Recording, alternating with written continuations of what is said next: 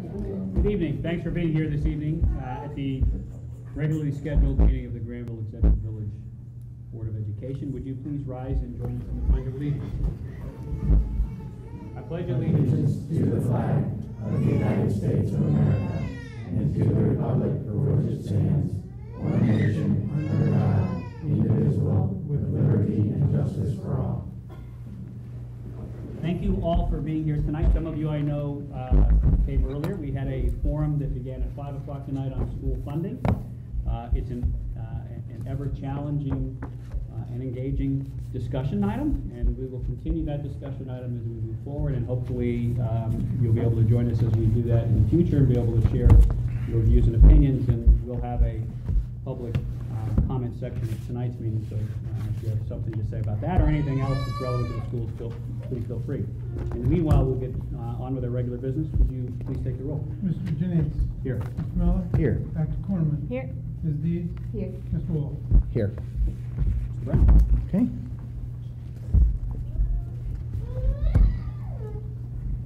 So many of you are here for the commendation, so we're going to get started um, with recognizing our uh, GHS athletes who qualified to compete at the Division One. Yes, and I said Division One. Um, OHSAA track and uh, field tournament at the Jesse Owens Memorial Stadium at OSU. I, I say that because um, Granville, 800 strong at the high school, competes with some of the school districts like Dublin, Olentangy that have um, 1,500, almost double the enrollment size. So us competing with them is always going to be a challenge. As you'll hear, we do pretty darn well, and that's because of quality athletes and coaches that we have in this room. So that was a side note. Um, the GHS girls 3200 relay team of Alyssa Christian, Rosie Lamb, Kylie McFarland, Riley Zink, Maddie Long, and Jenna Unkefer placed sixth and earned All Ohio honors. Alyssa also placed fifth in the 1600, Rosie placed 15th in the 1600, and Riley placed 11th in the 3200. Um, good luck to the relay team. They are competing June 17th at the New Balance Nationals in North Carolina. Please come up with your coach, Jim Green. And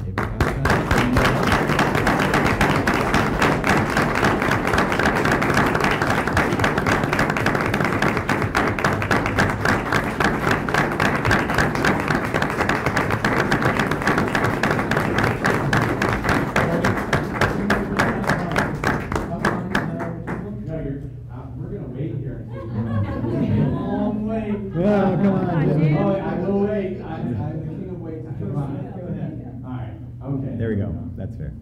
That's fair. All right, Mr. Burnett's gonna take our picture.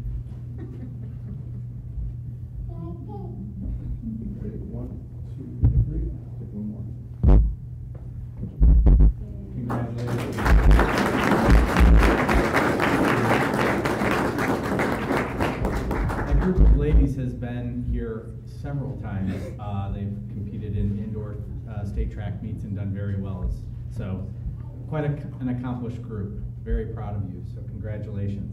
The next group that we're going to be honoring are our GMS Family and Career and Community Leaders of America members who brought home gold medals from the Ohio FCCLA Leadership Meeting and will compete at the National FCCLA Conference in Atlanta this summer. Wyatt Malashenko, Trenton Walker earned first place with a perfect score with their project on preventing food waste, and Kira Fuller won gold medal and first place for her Teach and Train project on preventing illness through hand washing. Congratulations and come on up, but as you're doing that, I just want to say that I love these projects. Um, one of the things that Granville Schools has um, really shifted towards was learning for life and solving real world problems. And this is a perfect example of our students having a broader impact on the world and thinking about the content that they learn in the classroom in a broader context. So, congratulations, FCCLA. Come on up if you're here.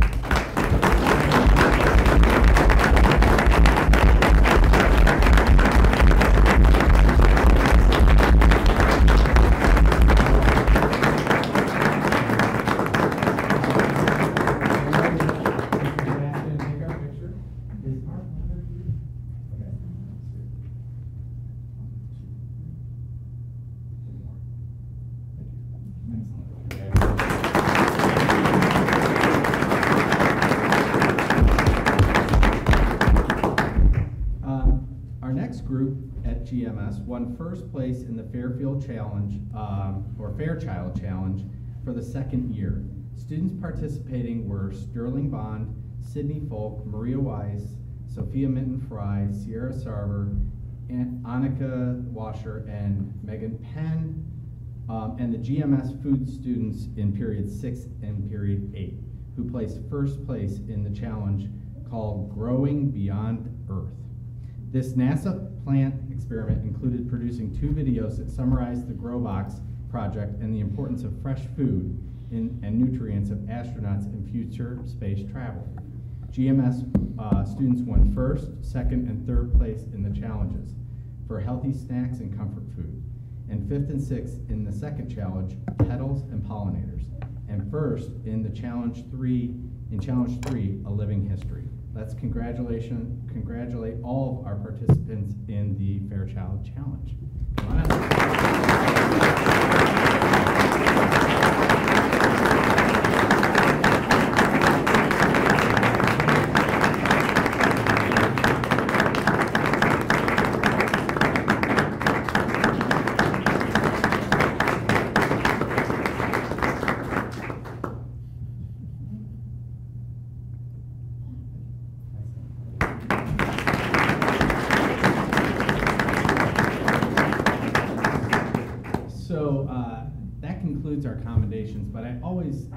Portion of the meeting. First, it's the first thing that I get to do is commend a lot of our students, um, staff, and other people that have contributed to the school district. Um, And it's June, so typically you don't have anyone here.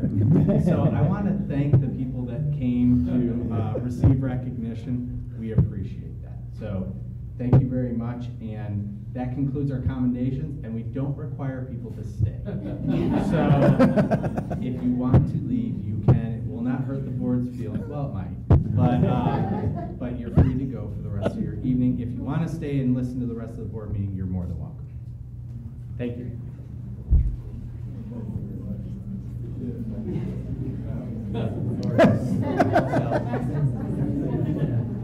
Didn't have to tell them twice. Take you.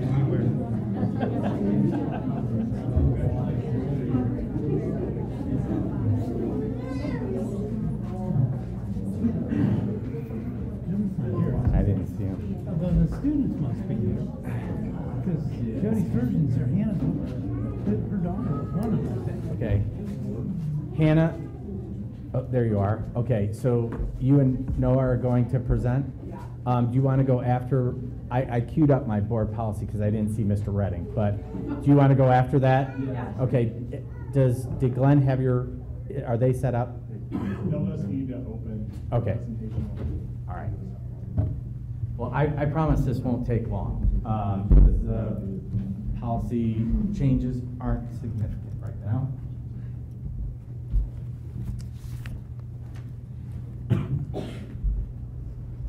Okay, so, um, as you know, the uh, OSBA recommends certain policy changes um, as new things evolve in the General Assembly, and it's been a little bit slower spring since they couldn't figure out who was going to be the Speaker of the House.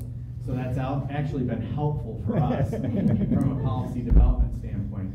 Um, The first items are really uh, the continual uh, tweaks to the evaluation requirements um, and specifically related to House Bill 64.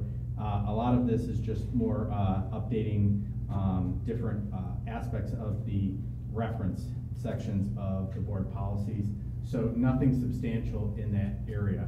Uh, Criminal records check, uh, that is just a reinforcement and an updating of the requirement for getting criminal records checks, um, looking at the RAP back system and some of the aspects of um, how we uh, solidify or, or uh, make sure that our, ensure that our staff have not been uh, criminals in the past. Um, I don't know how else to say that. Uh, Next is also related to the hiring practices, professional staff hiring. Um, That is also related to the criminal background check. It's just a, it's referenced in two places. Um, Part-time and substitute professional staff employment is just an update to the uh, references.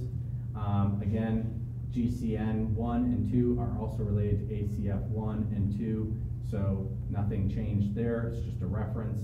Um, Suspensions and terminations of professional staff members, that is a relation to Ohio Revised Code thirty-three nineteen one seven. Um, just an update there. Uh, nothing substantial, but it really just kind of outlines what is required in Ohio Revised Code.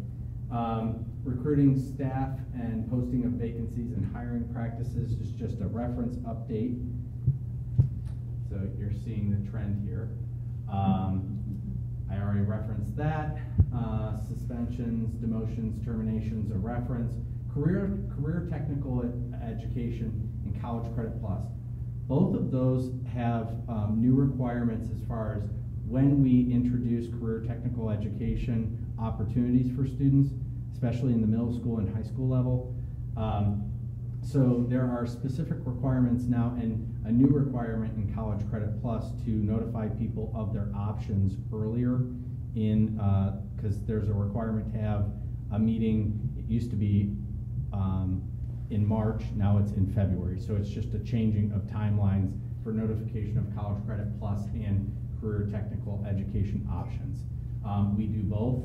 Uh, Matt and Scott and the counselors do a great job of letting people know of the options available to them through College Credit Plus. Um, uh, JEDA is our truancy policy. That is ever changing with House Bill, House Bill 410 uh, and the requirement for absence um, tracking, not only um, for uh, ex- uh, unexcused, but now for excused absences. There are additional requirements, and you're going to see some um, additional changes in the handbooks related to the changes that are coming from attendance. Is that gonna end up in procedural or communications changes that we're gonna have to do? Yes, absolutely. Because we've already seen some of that the last couple of years, right? We have, we have. So th- these, this is year two of House Bill four ten. And so every single time we, we, uh, get guidance from O- ODE and from EMIS, we're making adjustments to our attendance policies. It's not fun. Yeah. Um, it's, it seems like we're kind of chasing our tails on that. Um, KKA is recruiters in the schools, that is, um, talks about how and when we can allow military recruiters into the schools and how they have to, um, operate once they're there.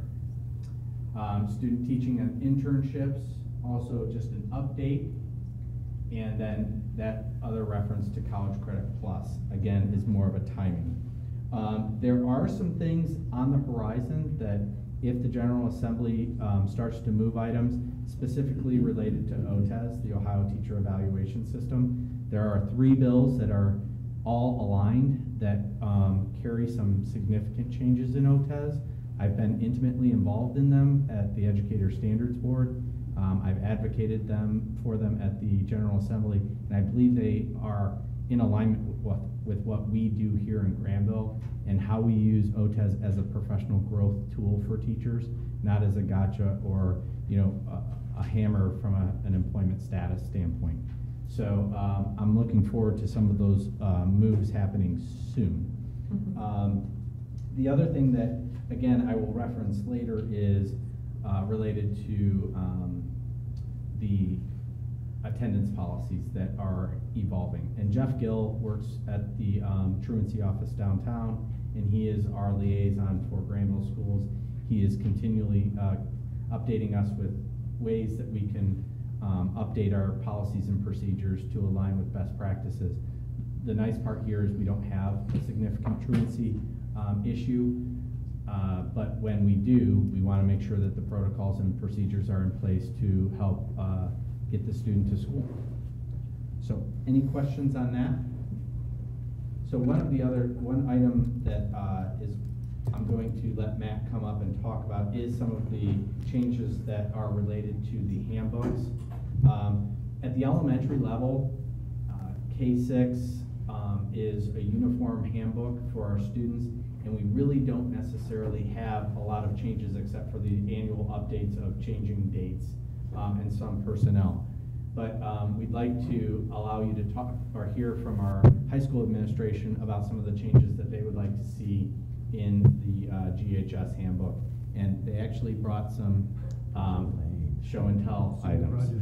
Yeah, don't be too surprised. Old school, I appreciate Yeah. that.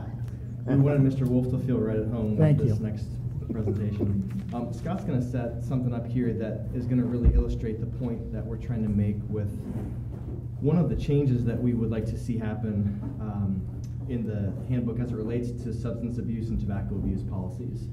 Um, So in their current state, um, they exist separate or independent of one another. So you have a tobacco use policy, you have a substance use policy. Tobacco includes um, all things tobacco, uh, nicotine related. Um, it includes e-cigarettes. It does not include e-cigarette paraphernalia. Substance abuse um, is the catch-all for it's et al. It's everything else.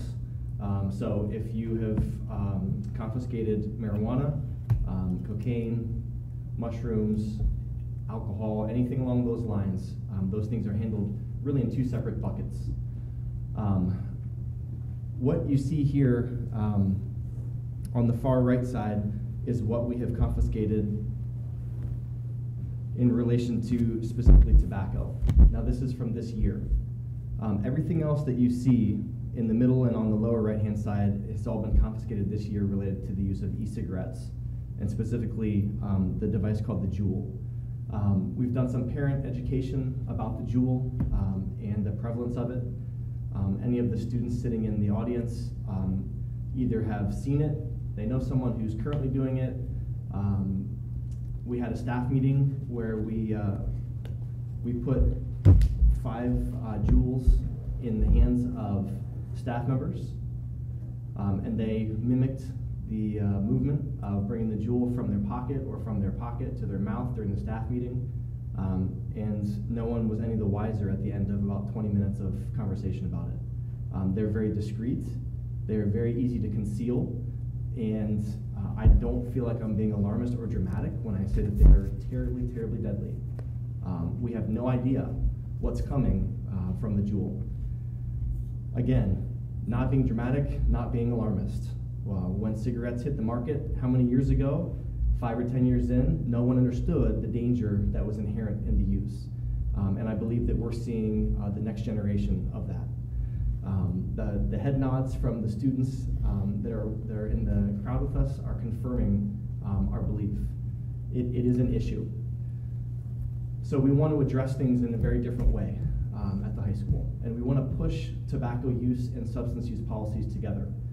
Um, we need to treat nicotine um, as a very serious, serious issue. Um, because what we're seeing is a generation of students who is going to be um, dependent on nicotine um, for the duration of their lives, in my opinion. Um, we have no idea what they're inhaling as it relates to uh, the medical, the metal particles as these Juuls heat up and as they're used.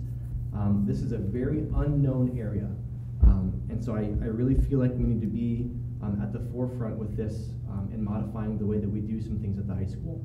Um, and so what you have, um, I believe Jeff has sent to you about two, two and a half weeks ago, was the idea that we have of pushing these policies together.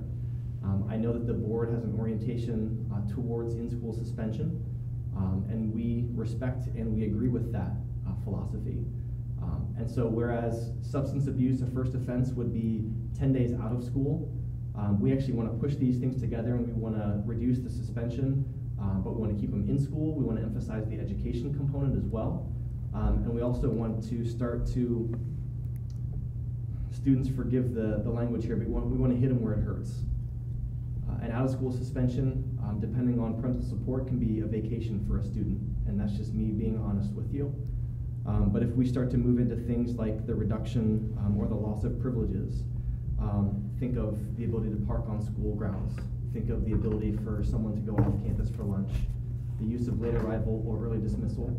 If we start moving into things that actually mean something for a student, I believe that we will get more attention from the student. Um, and I think that we'll start to see the students respect the school grounds and respect the school uh, activities um, by not bringing these things. Uh, we cannot control uh, what they do, obviously, outside of the time that we're with us. Um, but hopefully, through education um, and through some policy, policy adjustments, we can move the needle um, on this issue.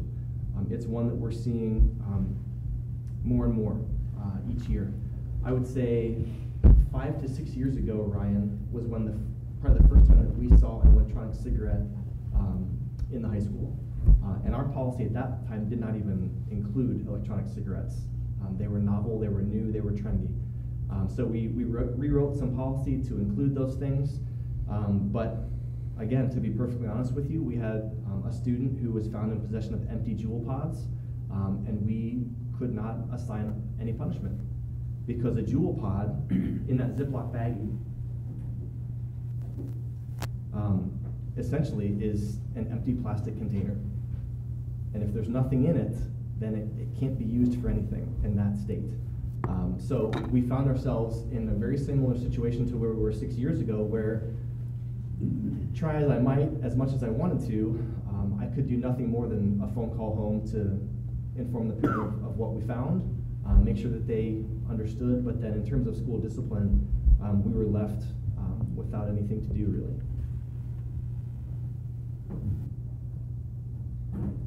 So that's that's one component that, that you've seen Jeff pass along to you. The first offense, like I said, would be five days in school, um, reduced to three days if they pursue um, a nicotine uh, program that um, LMH has got a nice one that we have referred students to. Again, it doesn't have to be through LMH. It doesn't have to be through any specific person, as long as they're receiving education. Um, we want to do our best to turn, um, hopefully, one misstep into uh, a correction rather than watch it become more of a chronic habit. Um, the second offense, uh, we would move towards that out-of-school suspension, um, as we had done in the in the substance abuse um, that, that currently is in um, is in place. Um, but again, we would highlight the reduction there um, that a student could receive after you know pursuing some education, and then you're seeing just a growth in those consequences. In the first one, um, you see 45 days loss of lunch privileges. So Mr. Wolf is a high school senior. His parents have signed off.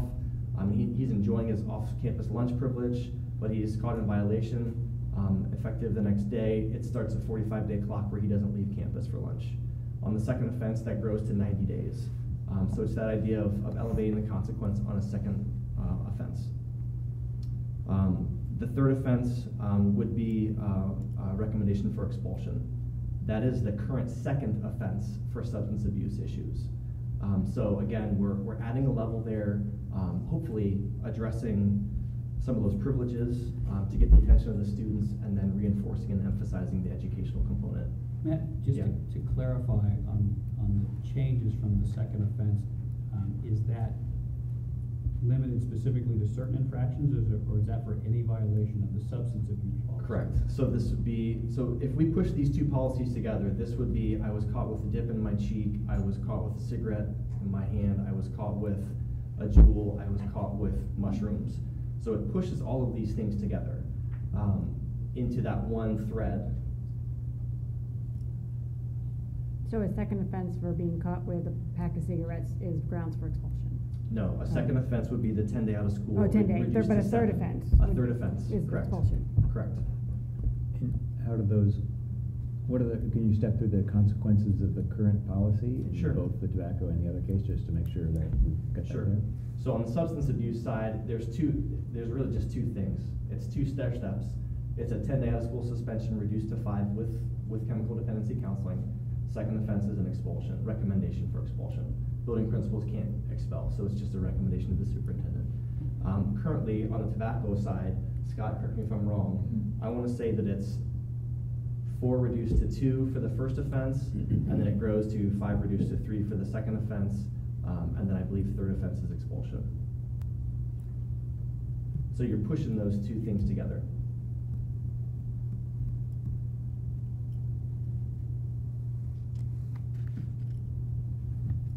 Any other questions about that, that piece? Um, I- Yeah, I, I trust your leadership and guidance on this. I think you, you really are, have the kids and the community's right interest in mind, so thank you. Um, I'm not sure what, how, how significant this is, from what resources are required from, uh, keeping the kids in school. I think that's the right thing to do, but in-school suspension does have implications for how they're monitored and how they're dealt with and so forth, so could you just address the resources of of that side? I think it's the right thing from a health and wellness perspective, but what do you need? Yeah, so from a, from an in-school suspension standpoint, um, let's go back eight years. Bef- before the sub pool got really, really shallow, we provided supervision uh, in the form of a substitute teacher on a daily basis for in-school suspension. As we have seen the sub pool dwindle, we've actually moved away from requiring that suspension or that, that supervision because we've got a spot in the office where we can monitor students um, throughout the day. Now, in an ideal standpoint, um, we start moving back towards um, that monitored study hall just because um, it, I prefer that model. Um, it puts a dedicated person with them all day long. Um, if Scott and I are in the office, you know, we, we have eyes on the student, but in a situation that pops up, then he and I disappear for 10 minutes and we come back. Now, the student hasn't gone anywhere, but it's just the fact that there's no direct eyes on that student. Um, that's our preference. So you're talking about a sub cost per day um, to supervise in-school suspension. Help me calibrate on how many kids are in that room on a regular basis, or an It's- occasional basis. They're just kind of average or typical or, We have a student in in-school suspension five days a month. okay. It's, it's not something that's uh, an, an overly used Thank you. form of discipline. Thank you. Matt, is there, is there, or, or what is the process to, for a, uh, approved education facilitator, whether it's substance abuse or smoke or tobacco? Yeah, so if you're gonna move towards um, chemical dependency, if you're moving towards nicotine, those are handled in two very different ways. Um, So LMH has got their tobacco school, the day-long course. Um, They provide us with verification that that has been attended and completed.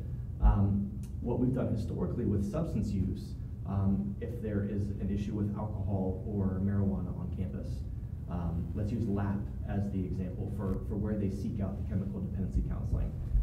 It's actually up to that person or that agency to determine what the extent of that treatment plan is.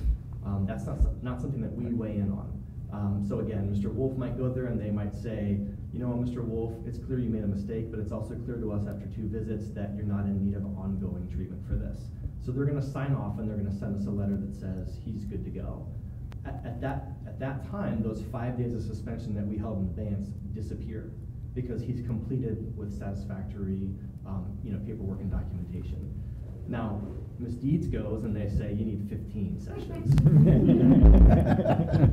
And so Ms. Deeds goes to twelve and then she's kind of burned out on this whole idea.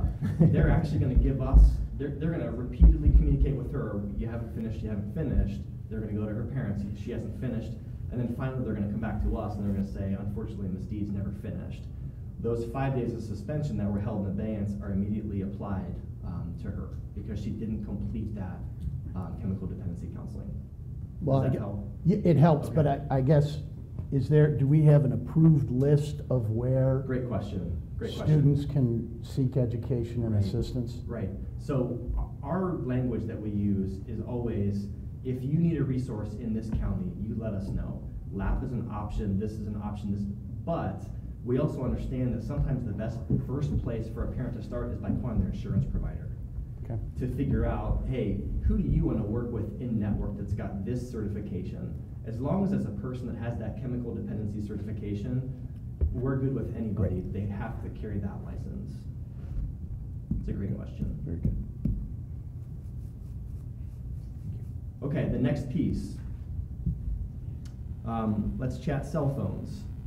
The second component that we want to modify for next year um, is that we want to turn these little guys um, into less of a distraction for our students. Um, we want to mirror a policy that's similar to uh, the way that we currently handle backpacks. So we have no issue with a student bringing a backpack to school, hanging in your locker, and then see you later until the end of the school day. Now, there's, the cell phone piece looks a little different. Um, but the original reason that we allowed cell phones in classrooms was through the bring your own device, the BYOD policy. It simply stated we didn't have the technology to put in every student's hands. Um, and so where it was accessible, we used that um, through a Schoology app or a My Big Campus. Anybody remember My Big Campus app as well? Um, with Chromebooks, we simply don't need them anymore. We don't need them in terms of technology access and use in the classroom. Um, so what we want to do is we want to move towards a system where students bring them to school, they're welcome there, it's not a big issue, leave it in your locker just like you leave your backpack in your locker. Um, mom and dad need to get you a message. No worries, our periods are only 50 minutes long, so you can check your locker at the end of first period, check it at the end of second period. Um, at lunchtime, take it with you to lunchroom, no issue whatsoever. But then make sure it gets back in your locker, you know, when you head to sixth or seventh period, finish out your day, um, and then obviously you have access to it after that point for transportation and those things, um, you know, after school. Um, we would make obvious exceptions for things like medical situations. Uh, we do have diabetics in our district that use an app on their cell phones to help monitor their levels. So that's a no-brainer for us. We would make exceptions for those types of situations. Um, we've tried to look at this through the lens of a parent. Um, I've got an urgent pressing issue. Um, I don't have access to my student via their cell phone. What do I do now? Um, call the main office. We send a runner up um, and we let the student know that they need to call their parent immediately. Um, so you're, you're really not seeing too much of a delay there in the communication. Not all of the cell phones have service in the buildings. Uh, we are famously um, misunderstood throughout this county as having some type of a cell phone blocker on our buildings, um, which the FCC strictly prohibits. Um, so to go on record now, uh, we don't have cell phone blockers. We just have geography and metal roofs in our favor. and so we, you know, there are legitimately sometimes when Verizon, for example, does not get any service um, at the high school. Um, and so all the Verizon users just walk in and they know that they're not going to have any luck with that. Um, so we, we want to move that direction. Um, any questions or, or thoughts on the cell phone piece? Is this the high school only or also the middle school? So that's a curious question. Um, Lisa Ormond and I have talked um, extensively about this, so I know that this would be 712. Um, I do know that at the younger levels, um, they would appreciate the expansion of this policy uh, to include them as well, um, because students are getting cell phones earlier and earlier in their lives, um, and so this would actually be an, it would be a nice thing to just apply across the district. Can you speak to what the, what the challenges are with cell phones, and what are we trying to address here? Yeah, that's a great question, Russ. Um, I- would love it if you, I'll send you the link after, after I get done. Um, there is a great 13-minute Anderson Cooper um, interview with a guy named Tristan Harris. He's, he's a former Silicon Valley um, app developer. 13-minute video, um, and he will walk you through exactly uh, what our concerns are. Um, to be specific, um, app developers are very, very savvy, and they know neuroscience, and they know behavior modification and manipulation. And so they are literally hacking the brains, um, to use Tristan Harris's words. They're hacking the brains of smartphone users because they want to pattern their behavior to, to come back for more. Because that's where the advertising dollars um, are realized for these companies. And so it's no secret that notifications and push notifications are as popular as they are. Um, it's no secret that Snapchat created streaks to bring students back because they don't want their streak to end. And so I've got to send someone a snap every day because I don't want my streak to end. They're geniuses and they're really, really good at what they do. And so they're manipulating us, uh, smartphone users, um, in a way that brings us back to our phones. Um, there are academic studies now that point to lower test scores. Simply, I could turn this thing off, and simply with it sitting there, because I, I know it's there and I'm wondering who is trying to communicate with me, that my test scores are lower than Miss Deeds if she tests without this device on her person or near her. They, they are stealing the attention um, of our culture. And I think that we owe it to our students to give them a 48, 49 minute break um, throughout the course of a class period. Um, it's something that's very close to my heart. Um, and it's, you know, I, I, for better or worse, my poor kids have will, will now benefit or not benefit from everything that I have seen um, in the high school. Um, and so they won't have a mobile device in their room. Um, they will have electronics restrictions because these things um, are literally changing the way that we do things in society. Again, not alarmist, not overly dramatic, just very factual. Um, they're changing the way that our brains work. Slot machines are programmed the exact same way. It's nothing, it's nothing, it's nothing, and then it's a little bit, and then it's a lot, and now I'm hooked. And Instagram does it the same way. They hold back on your notifications, they hold back, and then there's a flurry of them. And so you're just hooked right in.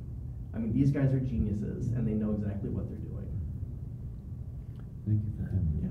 Yeah. Um, so, talk to us about enforcement. How, how- how- it's easy to see a student who walks in with a backpack on, It is. right? How are you going to, how, Yeah. how are the staff gonna deal with this and use of staff time and interruption in the classroom? How's that gonna be managed? Yeah, that's a great question.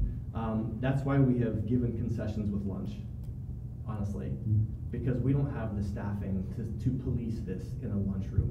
Um, when you've got 400 students sitting there eating lunch, it's an impossibility to think that we can try to supervise and police um, that type of thing. Now, in the classroom, it's different, um, and it's not going to be a tremendous adjustment for our classroom teachers because past practice was if the teacher says don't bring it or don't use it, then it shouldn't be out. So they'll still need to, to manage that um, in the classroom environment. But I, I really see this in large part a lot like backpacks. Um, the first nine weeks, it was difficult. But then once people get into the flow of the, the way the new norm is, then that newness starts to wear off, and so that learning curve really drops. Um, what we want to do is we actually want to approach this um, at the building level rather than at the classroom level. Um, because again, in the spirit of, of hit 'em where it hurts, and I hate to, I, again, I, I, I, forgive me for using that language, but if this starts to be the most important thing for a student and this thing starts to disappear on a regular basis, then they will modify their behavior. They will, because they like these. Um, I sat down and talked with a small group of juniors about this because the juniors are the ones that are going to carry this torch. Um, and they had great, great, great questions. And it was actually in those conversations where I think Scott and I began to understand, you know what, we, get, we should let them have it at lunch. We should. Um, it's, it's a little bit of a compromise. Um, it's a supervision issue. So let's, let's let them, let them have it at lunch. Um, and it's, it's a little bit of a way to almost keep the peace, if you will um, when you bring something in like this. One of the things that I learned, especially from these two in the front this year, um, and we had a lot of good conversations about um, the application of rules and policy, or are people working with mutual respect in a mutual respect environment? Um, and so if we can move towards uh, continuing that mutual respect environment, students are not going to be happy with this new rule. They're not. But if we can point to concessions like you get it at lunch and you can check it every 50 minutes, then that does, it decreases uh, that, that mountain climb that they're going to make um, in the way they shift with this policy. Um, one of the things that we have gone back and forth on, and we had great conversation about this, J.R. Waite, to his credit, is the first one that mentioned this. What happens in that severe, tragic situation but we settled on this. It, God forbid it ever happen. But in a situation where, where um, something like an active shooter is taking place, I don't want a student distracted by this. I want a student attentive and focused on me as a classroom teacher. Because we're making the call as to whether or not we should evacuate, whether we should stay. Okay, this is very flight or fright. And I don't want them distracted by this in that key second. I want them eyes on me doing exactly what we're deciding to do. I put myself in a parent's shoes and I think of an hour has passed, you know, since some situation has happened in the building. Now it's two hours. I think of that anxiety and that panic.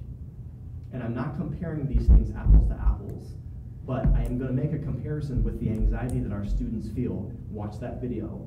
The anxiety that our students feel because of these things And I sincerely think that there's a very, very comparable point there. And our preference would be, let's address what we know is currently happening in the way of anxiety, rather than something that could possibly happen down the road, but we hope never does. Um, this, this has been the source of many, many good conversations um, in the high school. Um, so I, I bring this to you with a lot of confidence, but I also bring this to you um, with an understanding that you have to make your own decision for it.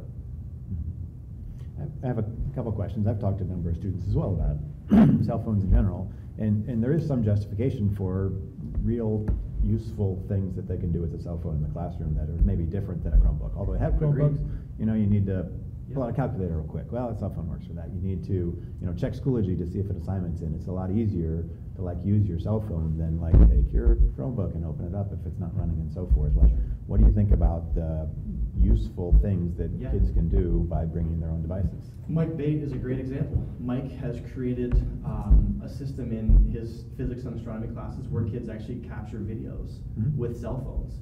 And so Mike is kind of going back to the drawing board going, can I make a Chromebook work? Or there's no reason that Mike can't say, for the next five days, you guys can bring this to my class. A, a teacher would have the availability to do that, um, just like a student walking through the high school with crutches. They've got a backpack on their back. We make common sense exceptions for those types of situations. Now, if I can check a Schoology assignment in ten seconds here, or I can check it in sixty seconds here on my Chromebook, I'm good with a fifty second lag.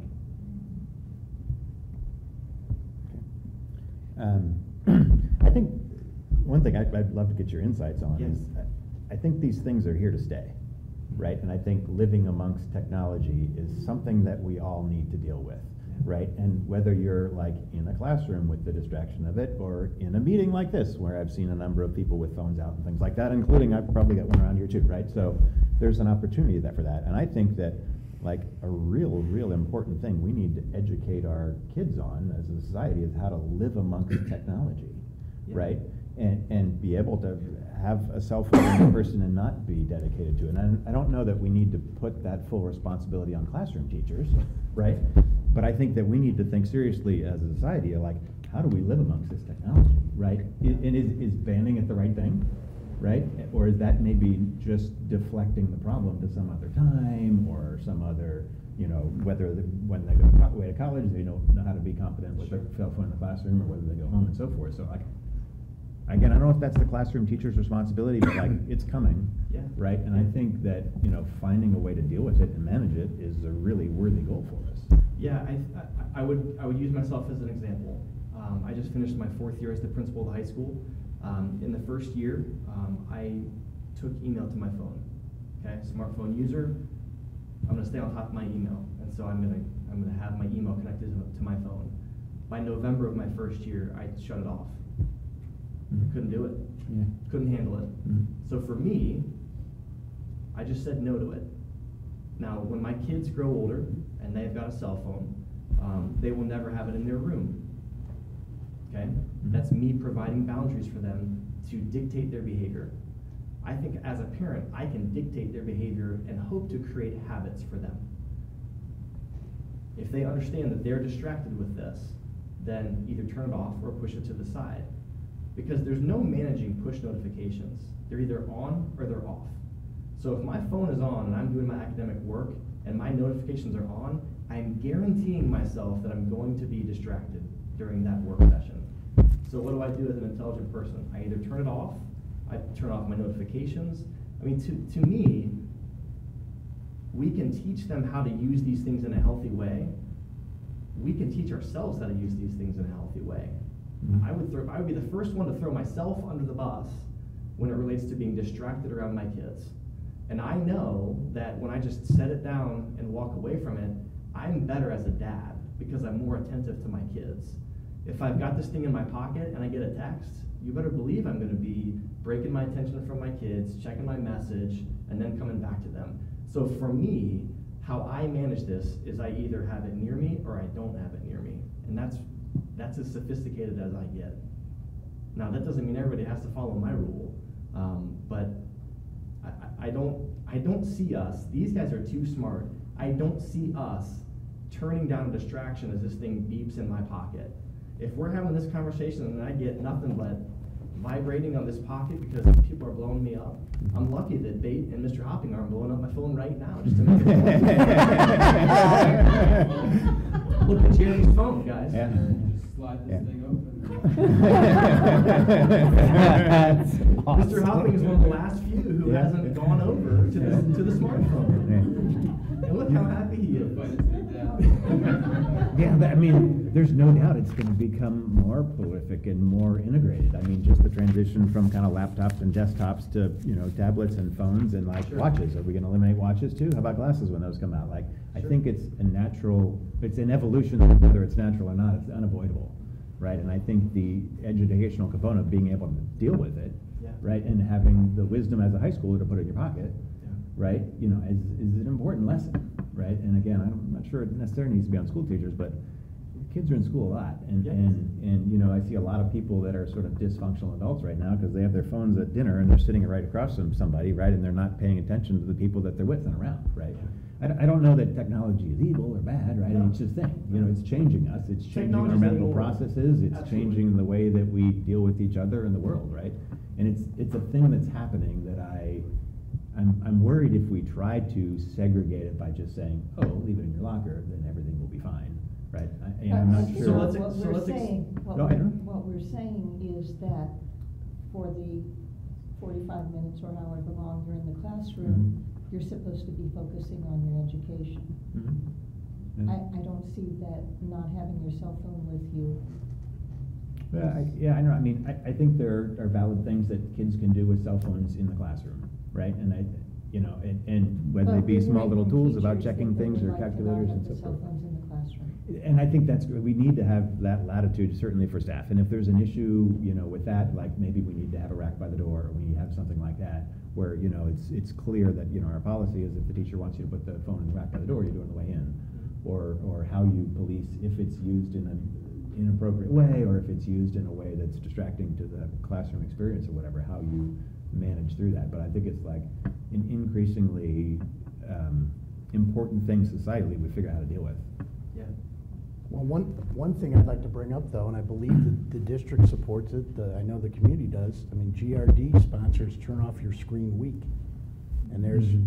and there is support across the community for one week to stop using your devices. Um, And I tend to agree with Amy that for forty-five minutes, I, I would, I, I would hope that the student is nothing but focused on, on their schoolwork and what the teacher is, is teaching. And, and some, some students are gonna be able to ignore the phone and others aren't, so. Any other questions? Matt, what do you, what do you do, how will you assess whether it becomes a persistent problem in enforcement? You know, if, if Yeah. Mr. Hopping says, look, every third day, I'm sending five kids back to their lockers to take their phones, and it goes on, and it goes on, and it goes on, and the only consequence to bringing your phone to your classroom is you get sent back to your locker. Right. What are you gonna do then? Yeah. How do you deal with that? Yeah, so we would, we would grow that consequence. Um, to be perfectly honest with you, if, if Nick Maxwell walks in to, uh, his English class and he has his phone in his pocket and it never leaves his pocket and he never touches it during the class period, it's a non-issue. I mean, I'm, just frankly speaking, we're not having kids open their pockets when they walk in, you know, English rooms. If it's never out, it's never an issue, okay? Now, eventually, the norm will become, leave it in your locker, leave it in your locker. But you're gonna have those students that hang on, right? You're gonna have next year's seniors who hang on and they're fighting a good fight. And I put it, it was in my class every single. it was in my pocket every day, and they never caught me with it. Well, okay, that's fine, as long as it's not out distracting you, um, then we'll live with that. Now, if a student violates misdeeds, um. She's always in trouble. Amy, you are in trouble. She's just so close. Um, if, you know, if Miss Deeds comes to class and she has that phone out, um, then the teacher's gonna ask her to leave it in, in the teacher's room, uh, for the day. Miss Deeds, turn your phone off, set it on my desk, come back at two fifty. If it's a one-time situation, then that's okay. I mean, it's not the end of the world. Um, there's gonna be a situation where a kid forgets that he has his phone in his pocket because it's a part of him. Um, and so that's gonna happen. If it's chronic, then we move to things like a phone call home, and the next time, only the parent can pick it up. And then if it happens again, then it sits in Mr. Carpenter or my office until the parent can come pick it up. Now, we've had that happen on a couple situations, and we've had two different reactions. I can't believe you're inconveniencing me, and you know what? If this is the third time and they still have their phone out, I'm not sure I can make it in to get that phone for four days, and we'll see. So, you, you've gotta kind of massage that a little bit and see how that situation goes, but, um, we, we believe in progressive discipline, and if it's the first offense, it's, we're not gonna make the, the end of the world out of it, um, but we'll progressively move it to a little bit higher stakes. So this would actually not just be a po- a handbook policy change, but then we, it would change the BYOD. Mhm. um, You would have two policy changes. Yeah, okay. Bring your own Which- device. which- Yeah. Bring your own device. Which, which really needs to change based on the Chromebook, which need to change anyway. It's a wild crowd. So, uh, sorry, so it would be handbook would. and, and then also board policy? Correct. Okay. What else you wanna tell us? That's all I got, guys. That's it? That's all I got. No. Anything else for me? Um, any more comments or questions? Look, I, you know, I, I, I agree with Thomas, there's no putting the genie back in the bottle here. Right. Um, and, and ultimately, we all have to learn how to manage the technology or it manages us. Yeah. But I understand what you're saying about the distraction. I was concerned, as you know, about the safety issue. Sure. If you feel confident that, that you can address that issue, Yeah. um, you know, that, that goes a long way. Um, and, and I don't want the enforcement to become a bigger distraction than the phone. We agree. That's a concern. Yep. So to, to, to finish answering that, that bit of the question, you know, if Jeremy and Mike Bate come to me after nine weeks and they go, man, we are not making many headroads on this, then we sit down and we reevaluate it. But, um, I, I don't, I don't think that our staff is going to flinch by some enforcement, um, that they have to take care of, um, as we, you know, embark on a new policy. It's fine. I have Um, they're, they're on board. Yeah. No, I have, I have confidence in, in the judgment and ability to, uh, impart whatever, uh, consequence need to happen in order to, to enforce the policy. Anybody else have questions? Thank you. Thanks. Hannah and Noah, sorry that was longer. Come on up. So as Hannah and Noah get set up, um, I'd like to, uh, Noah just graduated and Hannah is a junior, senior now? Yeah. Oh my gosh. Okay, so an incoming senior. They are going to talk to you about a project that they've been working on related to the land lab and, um, you know, one of the things that we've emphasized from a project-based learning perspective or a take action project or a legacy project is that public product, that public presentation of um, information about what they've learned and what they're trying to do. And so this is one more example of students taking on a project and uh, trying to get it to fruition.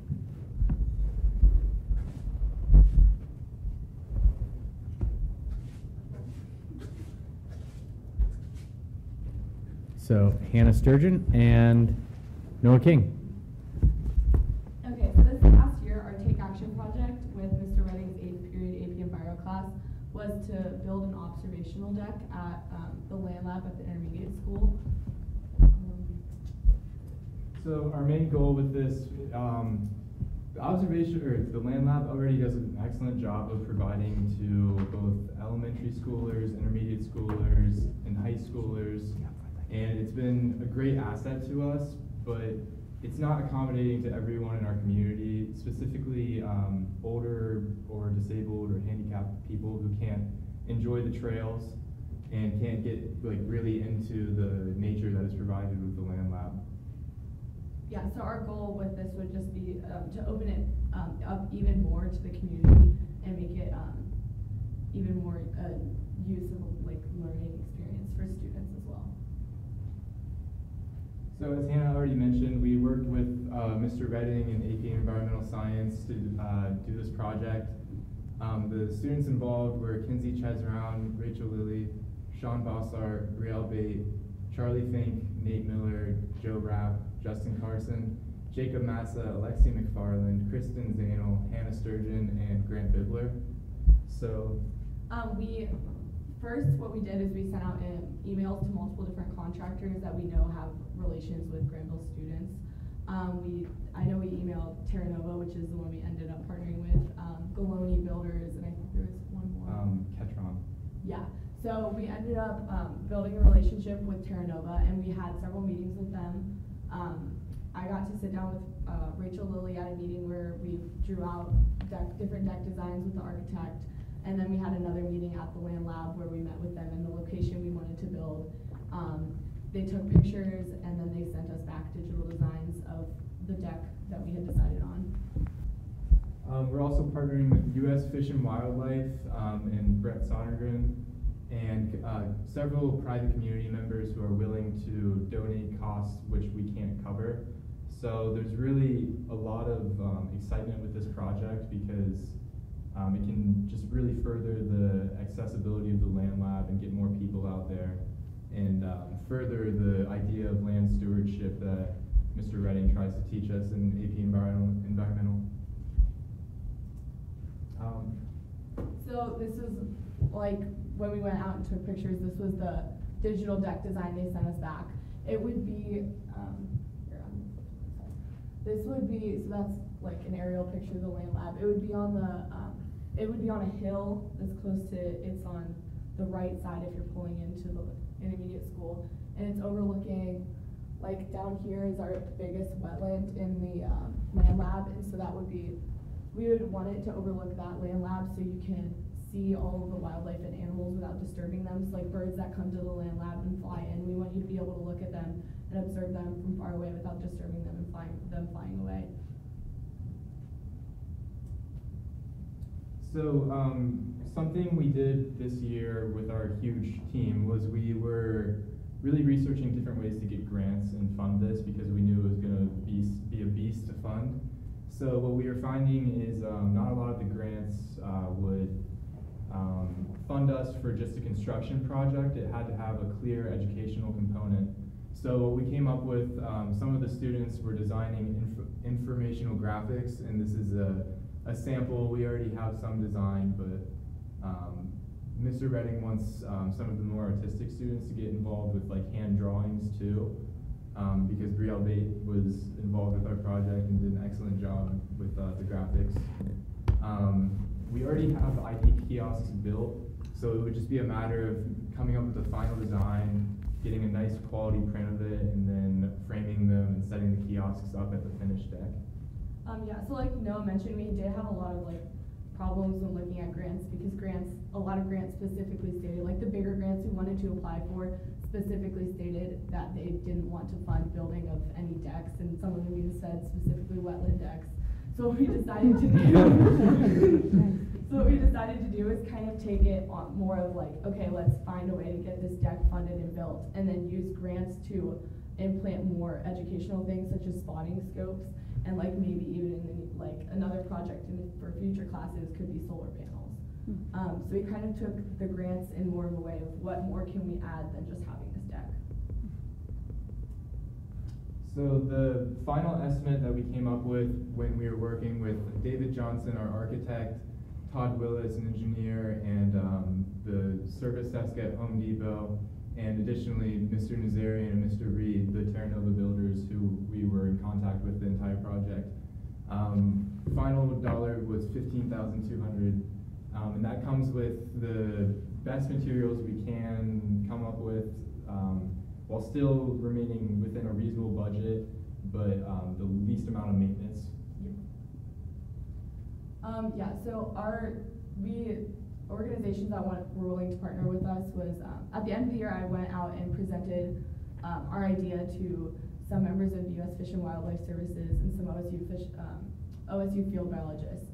And the OSU Fish and Wildlife Services really, like, took our idea to heart and, um, I think they emailed several different people the night after that presentation, and within one night, they had three organ, two organizations and one private donor, um, organized and willing to cover all costs that we couldn't cover by ourselves. So it was very nice.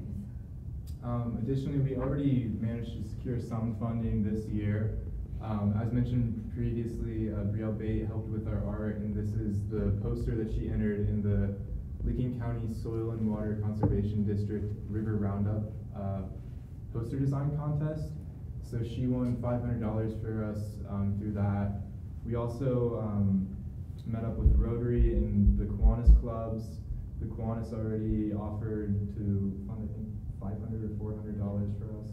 Yeah. So as this project continues to evolve, it's not like we're, we're not just like stopping here with the small donors. We're gonna try and continue to get small donors, um, who are willing to provide money and not just leave the three major donors to cover all costs. So the timeline of this project, um, we should be able to secure the funding and get this built by the start of school year in twenty eighteen. Um, this would also require the relocation of the storage shed, which was built by the industrial tech, um, classes. And I think that they wanna relocate it to be closer to where, um, we'll be building our deck, if, is that right? Yeah, that's accurate. Okay, just checking. Um, and then also, let me go back to, um, design. So there, there is a sidewalk that's already extended from the school building, but it would stop, it like cuts off before we want to build our deck. So another thing we would like to add is that kind of, that chunk that kind of goes like sideways to the deck to allow it to be even more wheelchair accessible.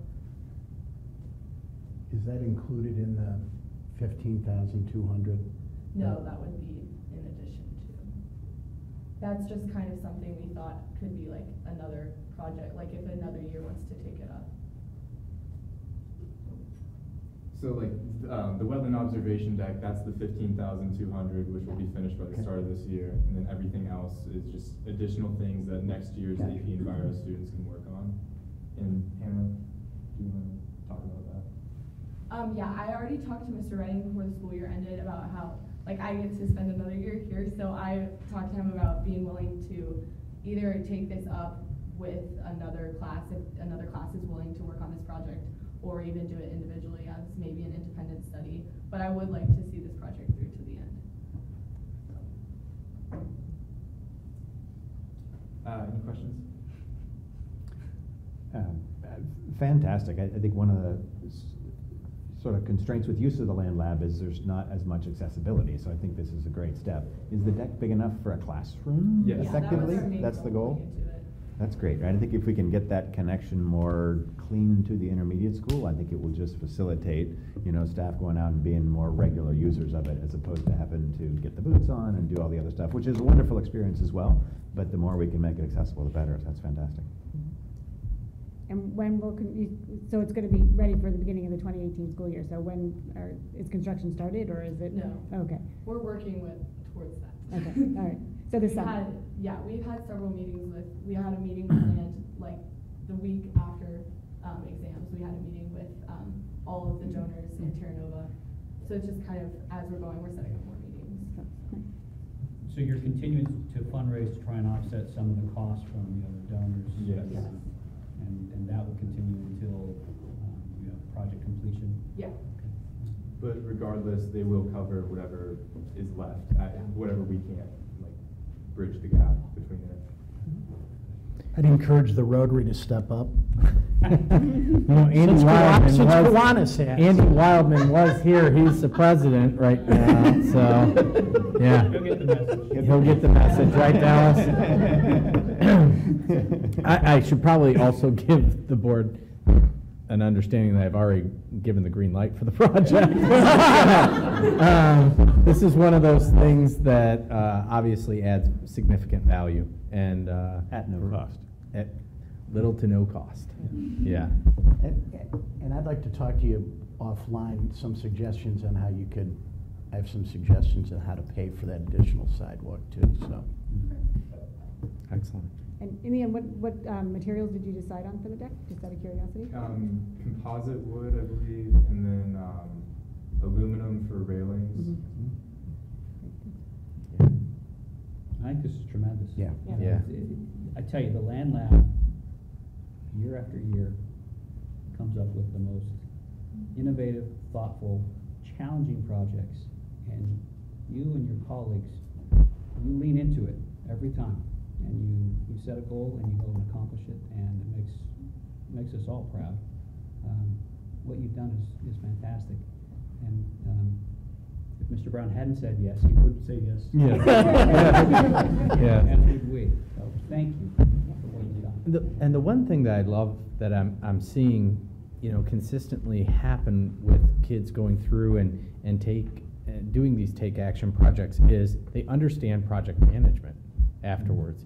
And I'm gonna tell you, that's what the world is all about, is about coalescing a group of like-minded individuals to accomplish a goal. And, and it's all about that project management and getting, executing on all levels. And so getting that experience in your K-12 experience will only help you when you go into higher ed and, and pursue whatever your passion is. But I think it's, it's a, a great learning activity. And, and, you know, when, when the board created, or the willingness to accept the land lab, uh, it was really with the intent that it would become an educational resource, and it has. Like Mr. Janice has said, it continues to evolve um, at a whole new level. We've talked about bee apiaries to decks.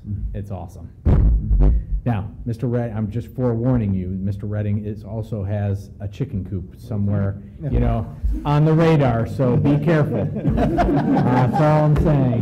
Be careful. Yeah, so. Stick with the rest. All right. Well, thank you very much. Great job. Thank you.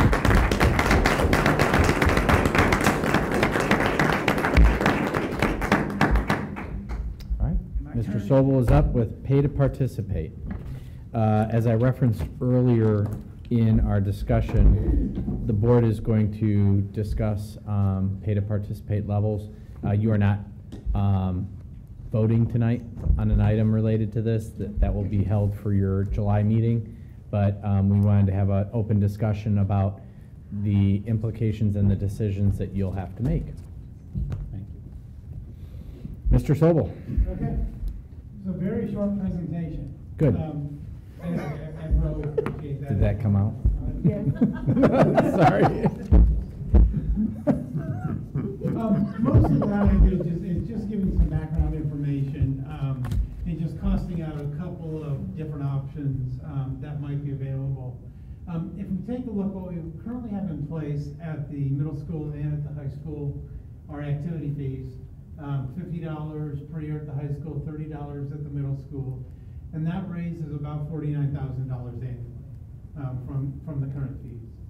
Um, taking a look at, um, extracurricular usage, and this is all from the 16-17 school year. The final, the final information for this school year is not all in the system yet, um, so I wanted to use a complete year when I was doing this. I can't imagine it changes much from year to year. Um, so if you look at the 16-17 school year, there were a total of almost seventeen hundred individual registrations for extracurricular activities. Um, about eleven hundred of those were athletic, about six hundred of those were non-athletic. Um, so just to get an idea of where, of where that's come from, this is not 1,600, di- 1,700 different kids. First of all, we don't have seventeen hundred kids in the middle school and the high school combined.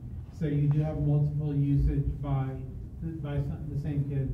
And one thing I do want to point out with athletics is of the eleven hundred or so athletes, about two hundred and fifty-seven of those were in the sports that we provide at the middle school. This would not include the sports that the GRD runs separately from us. So these are the sports that we provide. Mike, excuse Yeah. me, that, am I correct, that's currently eleven sports in middle school that are school? Yes. Supported? Yes. At middle school level? Yes.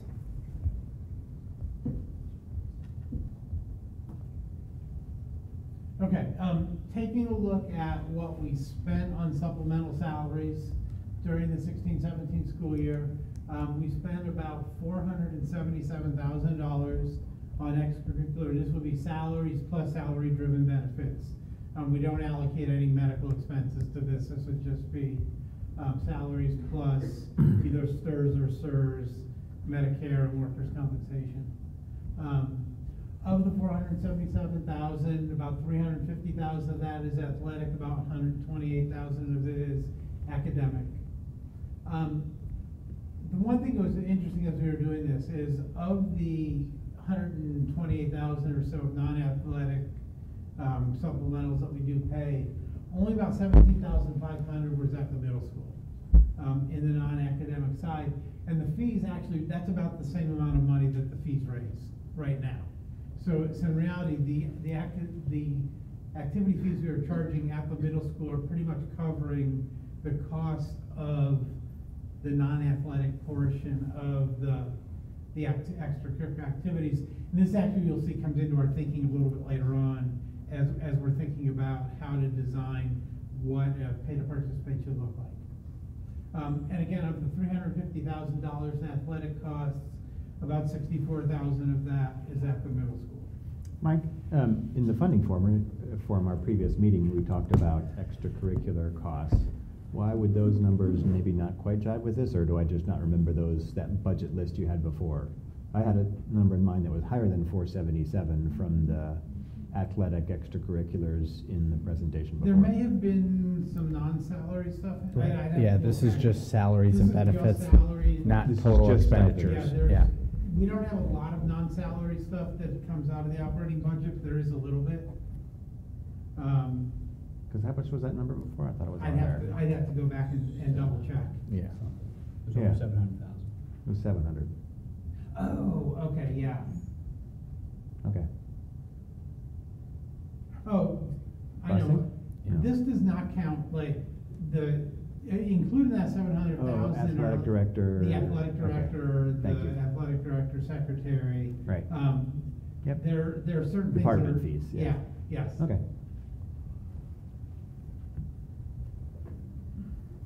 Okay, so I mentioned that the, that thirty dollar fee at the GMS right now is covering the non-athletic part of the, um, of the costs.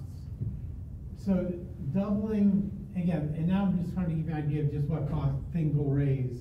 Um, doubling the activity fee to hundred dollars at the high school would raise about thirty-one thousand dollars annually.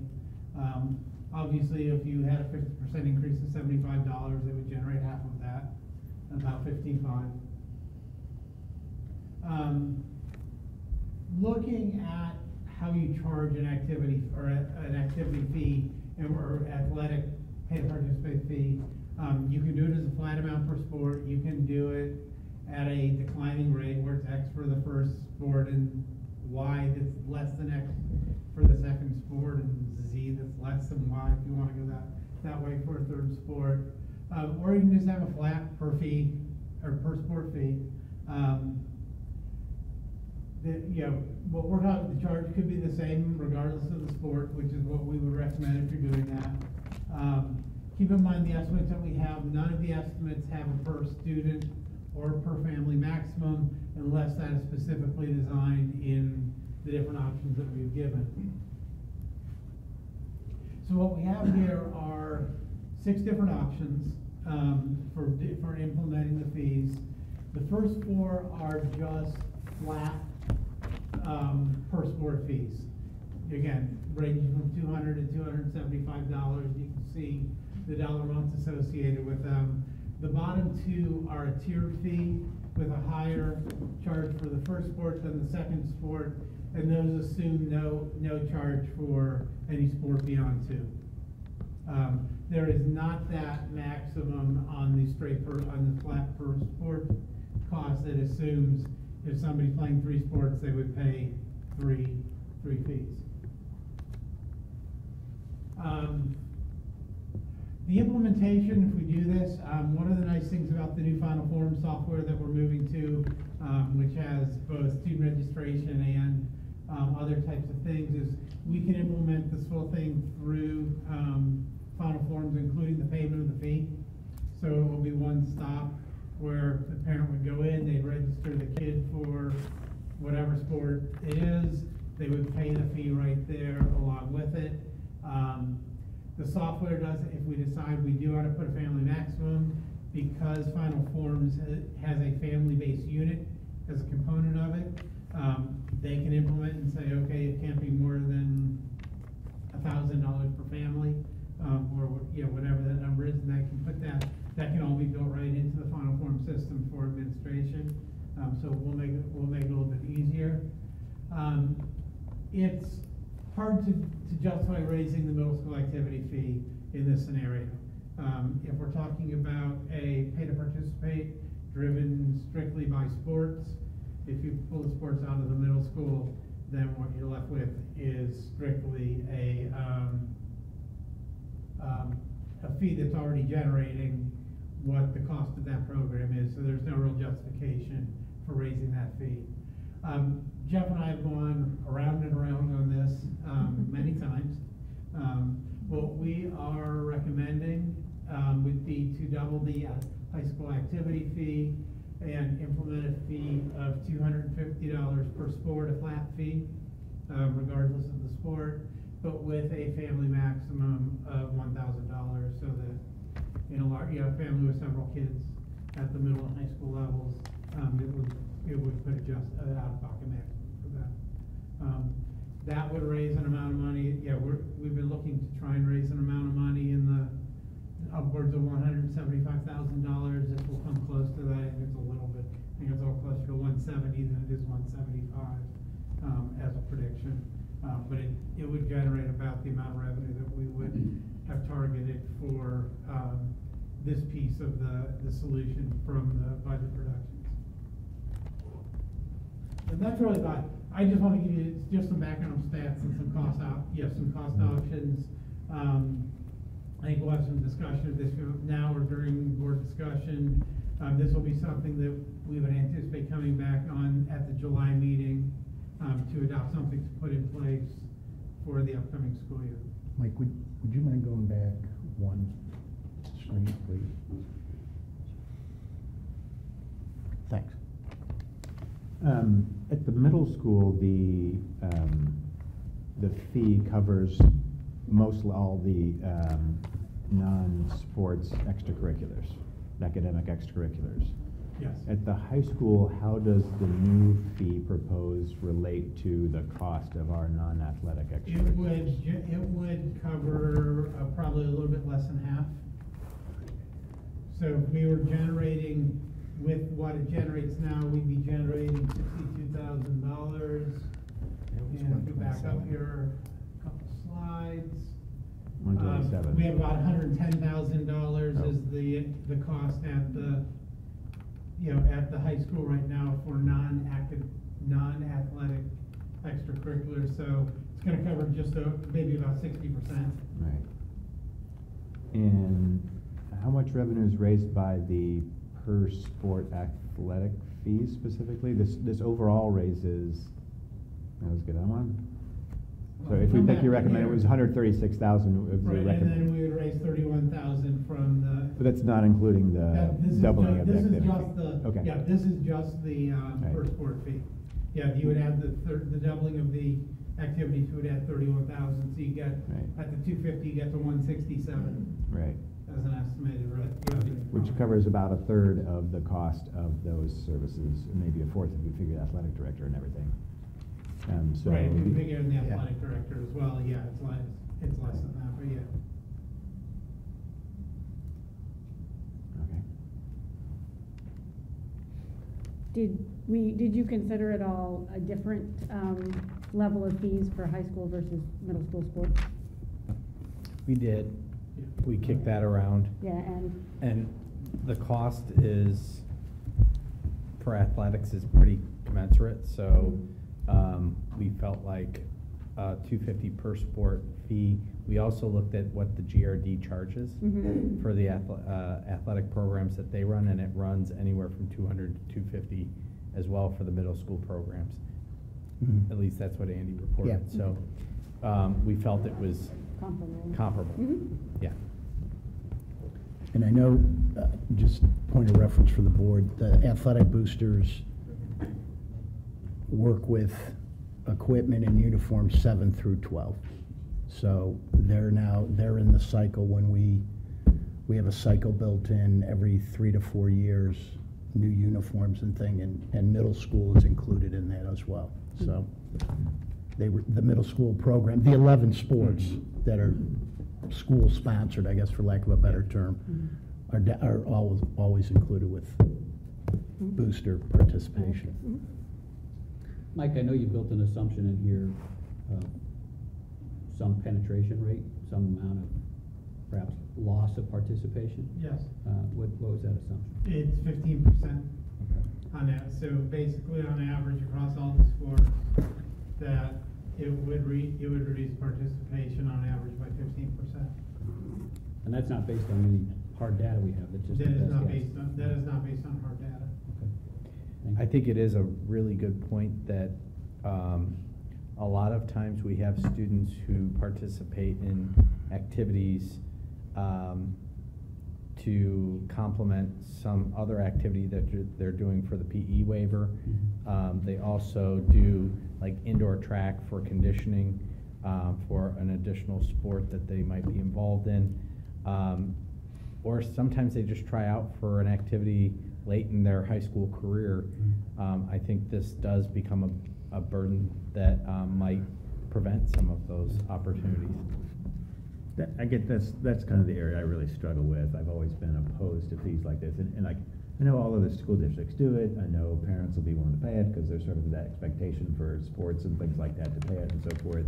But like, I worry about that fifteen percent of kids that are not gonna participate in some way, you know? And I, you're not, you're not gonna lose your stars, team, right? They're gonna get, they're gonna, fees are gonna be paid for, but the kid who decided to run track, you know, he'd never run before, or went out for tennis, or decided to golf, or things like that, those are kinds of habits that can develop really lifelong values and things like that, and I really struggle with that. So I struggle with fees in general, but, and so I wish we could find a more, a better way to raise these funds, you know, with something like an earned income tax, so that it taxes the same base, right?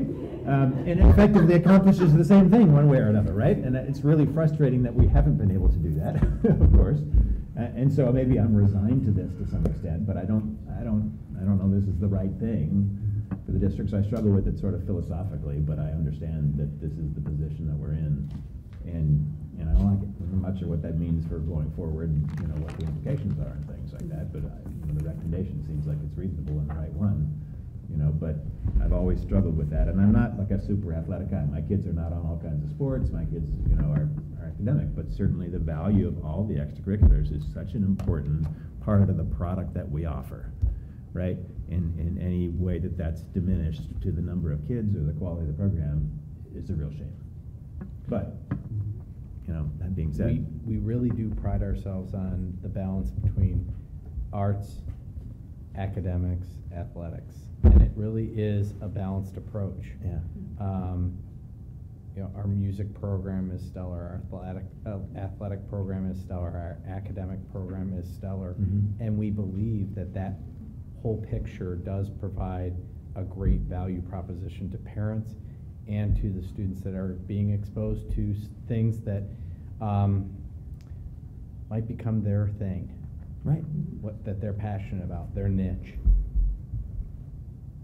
And I think, I mean, we've had this conversation in the past, in my involvement with the boosters, and boosters used to be the gravy. And uh, for athletics, music, academics, and now we're more foundational. And it's changing times, and I don't think any school district wants pay to participate. I, I don't think they just put it in willy-nilly. It's kind of like a last, it- to me, as far as our district's concerned, it's a last-ditch effort. It's a way we have to address something. Because I'm, I'm not a big proponent of it at all, but I, I don't, I don't know what our options are at this point. Um, And as I've stated earlier, and the boosters have stated to, to Jeff, you know, we're happy for any student that's challenged economically on this, we will help defer that. I mean, that, that's something we're committed to. And we've, and I, I don't know, but I think I'm the only one has a, had a child that went through pay to participate. And, I mean, it, it- it's, it's tough. Nobody likes writing that check. Um, So, it's hard to do. I thi, I think you're right about, and there, and there's no way to really quantify it. I don't know if it'll be as high as fifteen, but I hate the idea of someone that wants to try something Right. this, the, economically, it come, it comes into play, and that, that's, that's really tough for me to see. I don't, I don't like seeing that. Um, I I have two questions, but sort of along the lines of this.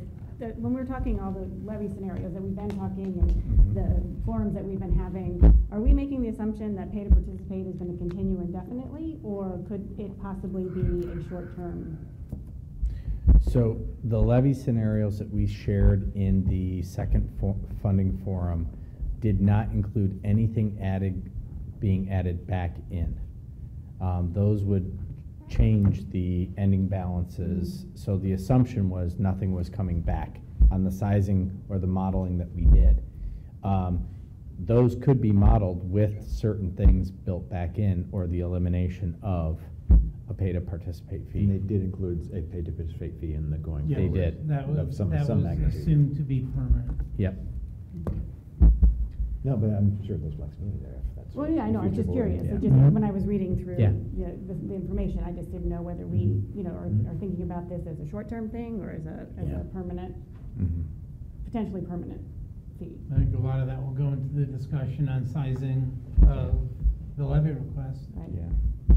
I'd like us to consider what it might, the levy request might look like if we were to eliminate. Yep. pay to participate, just so we know what's going on. And then can you talk a little bit about the family limit? Like, how did you come up with a thousand? Did you consider perhaps a athlete limit rather than a family limit? Um, I just, I'm curious as to how, and why a thousand? Well, we looked at it being, you know, if, how many kids are participating in potentially three sports? Mhm. Um, and, and then how many potentially have a sibling at that same age, age level? Mhm. And we felt like four sports, um, would probably be, um, a, a good building block Mhm. and that a thousand dollars from a sticker standpoint um, is probably the point where I think families would really struggle beyond that part, that point. So it was just a kind of a gut feel and a threshold standpoint. Okay. Um, So do you think it's because then participation would drop off? Yes, absolutely. um, Yeah. Further? if- I, I think if a, a family had to commit more than a thousand dollars to fund the sports, that, that we would see potentially more than fifteen percent. Um, So did you didn't consider, could we consider an athlete limit rather than a family limit? So what would you propose? So like two, two sports, you pay for the first two sports, each, each athlete pays for the first two sports, and then the third one becomes free? Because in some ways, then, it's, it's, I think that's more fair. You're not penalizing people with small families versus large families, because then the people with small families disproportionately subsidize athletics for other students. We'd have to run that. Yeah. We would have to run, Yeah. From a cost standpoint, I don't think it's going to, there weren't that many, stu- there weren't that many kids who, who do three sports. I mean, there were, there were only a handful. Right. But do you see what I'm, like? we could, we could Yeah. bring that back in the July meeting, just so that you could have that model. Mm -hmm. Um, We did not consider that. Okay. We, we stuck with the family. Right. But do you see what I mean? Yeah, Like why it might be sure. something to consider? Okay. Sure. That's why we have these conversations. Mhm. Okay.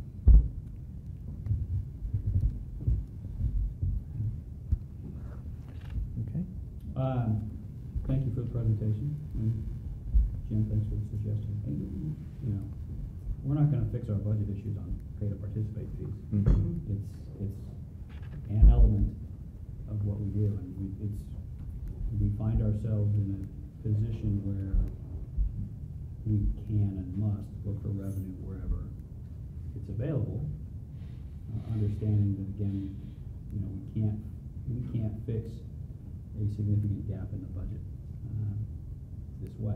What this allows us to do, the, the number you threw out there, Mike, you know, call it hundred and thirty-six thousand dollars. It allowed us, when we did the reduction in force three and a half weeks ago, to, um, assume that we were going to lay, uh, lay off fewer personnel than we might have otherwise. That's absolutely correct. That's right. So it's a, it's a position or two, um, within our school district, which is not insignificant. But I think, uh, yeah, I'd, I'd like to see, you know, some, a couple of different iterations of this when we, when we talk again. Um, we'd certainly like to hear from folks in the community, uh, about this. It's, um, to strive to get to a, a fee that is, um, not onerous compared to some of the districts that we're aware of. Um, and, but it doesn't offset our costs. And I, and I would agree with the sentiments here, I mean, you know, K, seven through twelve, is when you want kids to be trying things, you want them to join sports. You want them to join activities, you want them to participate in clubs, you want them to participate in the arts. That's, that makes them, um, better students, keeps them engaged, keeps them attentive, it gives them a reason to be paying attention in school. It, uh, it connects them. And so I think we're all reluctant to do anything which makes that connection more challenging. Absolutely. Anybody else? Okay, next, we're going to have a brief uh, summary of our recent uh, safety meeting with our first responders and a few community members. Hello, I just wanted to recap that on April 4th, um, we did have our safety committee meeting, and um, we had a large number of people there, and they reviewed the plan, and they also came up with some uh, subcommittees for further research on things that we could potentially implement in the future. Um, We did submit our plan, and it was approved by Homeland Security, so we are um, good to go with our new um, uh, emergency operation plan. So I'm going to provide a little bit of a uh, summary report for uh, different groups that met and uh, what they shared with us at our last meeting, which was on June 6th. Um, The groups came back with some recommendations um, that did have a price tag um, attached to that, and some came back with some uh, need for additional research and some things that they could go ahead and do and have an impact, for example, on mental health that would not cost any um, money to, per se. So the first group was the school resource officer group, um, and they looked at what kind of an impact having a school resource officer in our school district would have. Um, they did say that they needed to gather some additional research. They felt that they needed to look at other school districts and what data that they could, um, share with us to look at the impact on the school environment of having a school resource officer in the school buildings. Um, they also recognize that Granville is unique because we do not need to rely on the sheriff's office. We have our own police department here locally. Um, they talked a little bit about how we could have a variety of models, um, if we were to implement a school resource officer in the buildings. We could potentially have an officer in each school building. Um, maybe we could have one that would float and kind of anything in between on what that would look like for a school resource officer. So they have some more research to do and we'll continue to monitor that. The facilities group uh, did recommend some different items that we would be considering for implementation, uh, to, im- to uh, have some barricading devices at our buildings in K six. We do have, um, some ratchet, straps, excuse me, at our, um, seven through twelve buildings that the school can use right now to barricade, uh, the doors.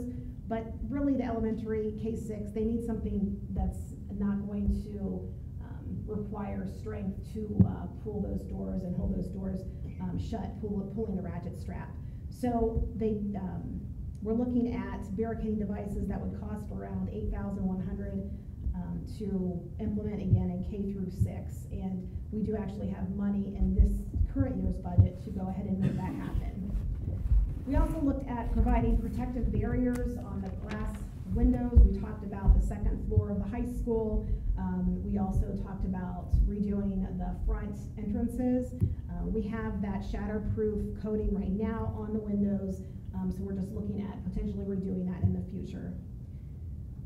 We have a system um, for our doors. It's called our key scan system for all the exterior doors in the school buildings. Um, our system is pretty archaic and it's not, does not work properly, as you probably all uh, know. So there is some updating to the system that we would need to do that would roughly cost around eighteen thousand five hundred dollars.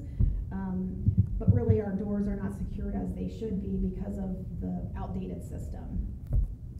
It's also something that uh, the transportation department considered is to have cameras on buses, also with a GPS system. Um, and then we also looked at having door alarms that would sound on each door. So if a door was propped open, you would hear a loud alarm so that someone would need to go and close that door. Our technology committee of one, which was Glenn. um, he looked at a lot of different things, um, but really came back with a recommendation of having a committee that would annually look at the security cameras in our buildings, um, look to see what improvements we need to make or what updates that we would need to make. So that would, is something that we will look, look at ongoing. Our mental health group, they um, ideally would like to have a mental health specialist um, if the levy were to pass in the 1920 school year. They also wanted to have the school counselors K through 12 really review and expand the wellness program for students. They felt this is something that they could do um, with collaboration time where they can get together and really look at the curriculum um, and provide um, a, a K through 12 wellness and mental health curriculum. They also wanted to revise the current suicide prevention curriculum and they just wanted to be an advocate for the district to create a three to five year wellness program, uh, curriculum, professional development, and some family and community education. And then our final piece was um, Citizen Aid. And Citizen Aid has public treatment kits, um, which are a vacuum sealed kit.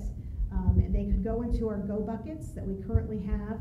We ran a campaign, um, hopefully you saw it, and we were asking for um, parents to sponsor a kit um, so for their classroom. And we did have approximately 16 um, kits purchased for classrooms. We were hoping for more, so we're going to run another campaign to try to um, get some additional donations in the fall.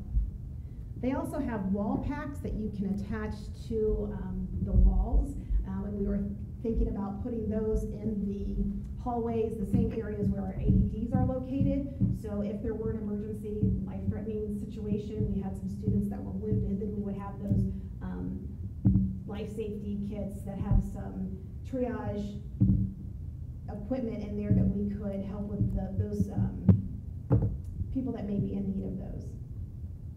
Um, the Citizen Aid program does align with Stop the Bleed. We've heard a lot about the Stop the Bleed um, concept, and we just wanted everyone to know that that is part of what the Citizen Aid um, kits have.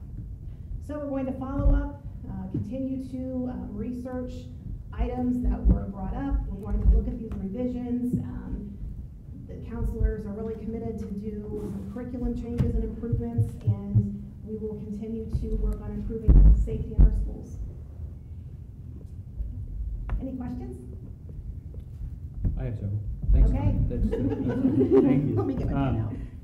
So just sort of in order, um, on the SRO, um, you, indicated more research is needed. I know there's, there's some disparate views, some mixed views Mhm. on the, um, effectiveness, potential effectiveness of SROs.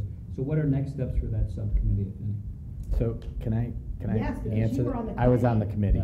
So, um, what, Please do. when we started that conversation, I think the, the foundational assumption by some was that an SRO was absolutely necessary um, for, I would say, what they would categorize as a catastrophic event, okay, as a deterrent.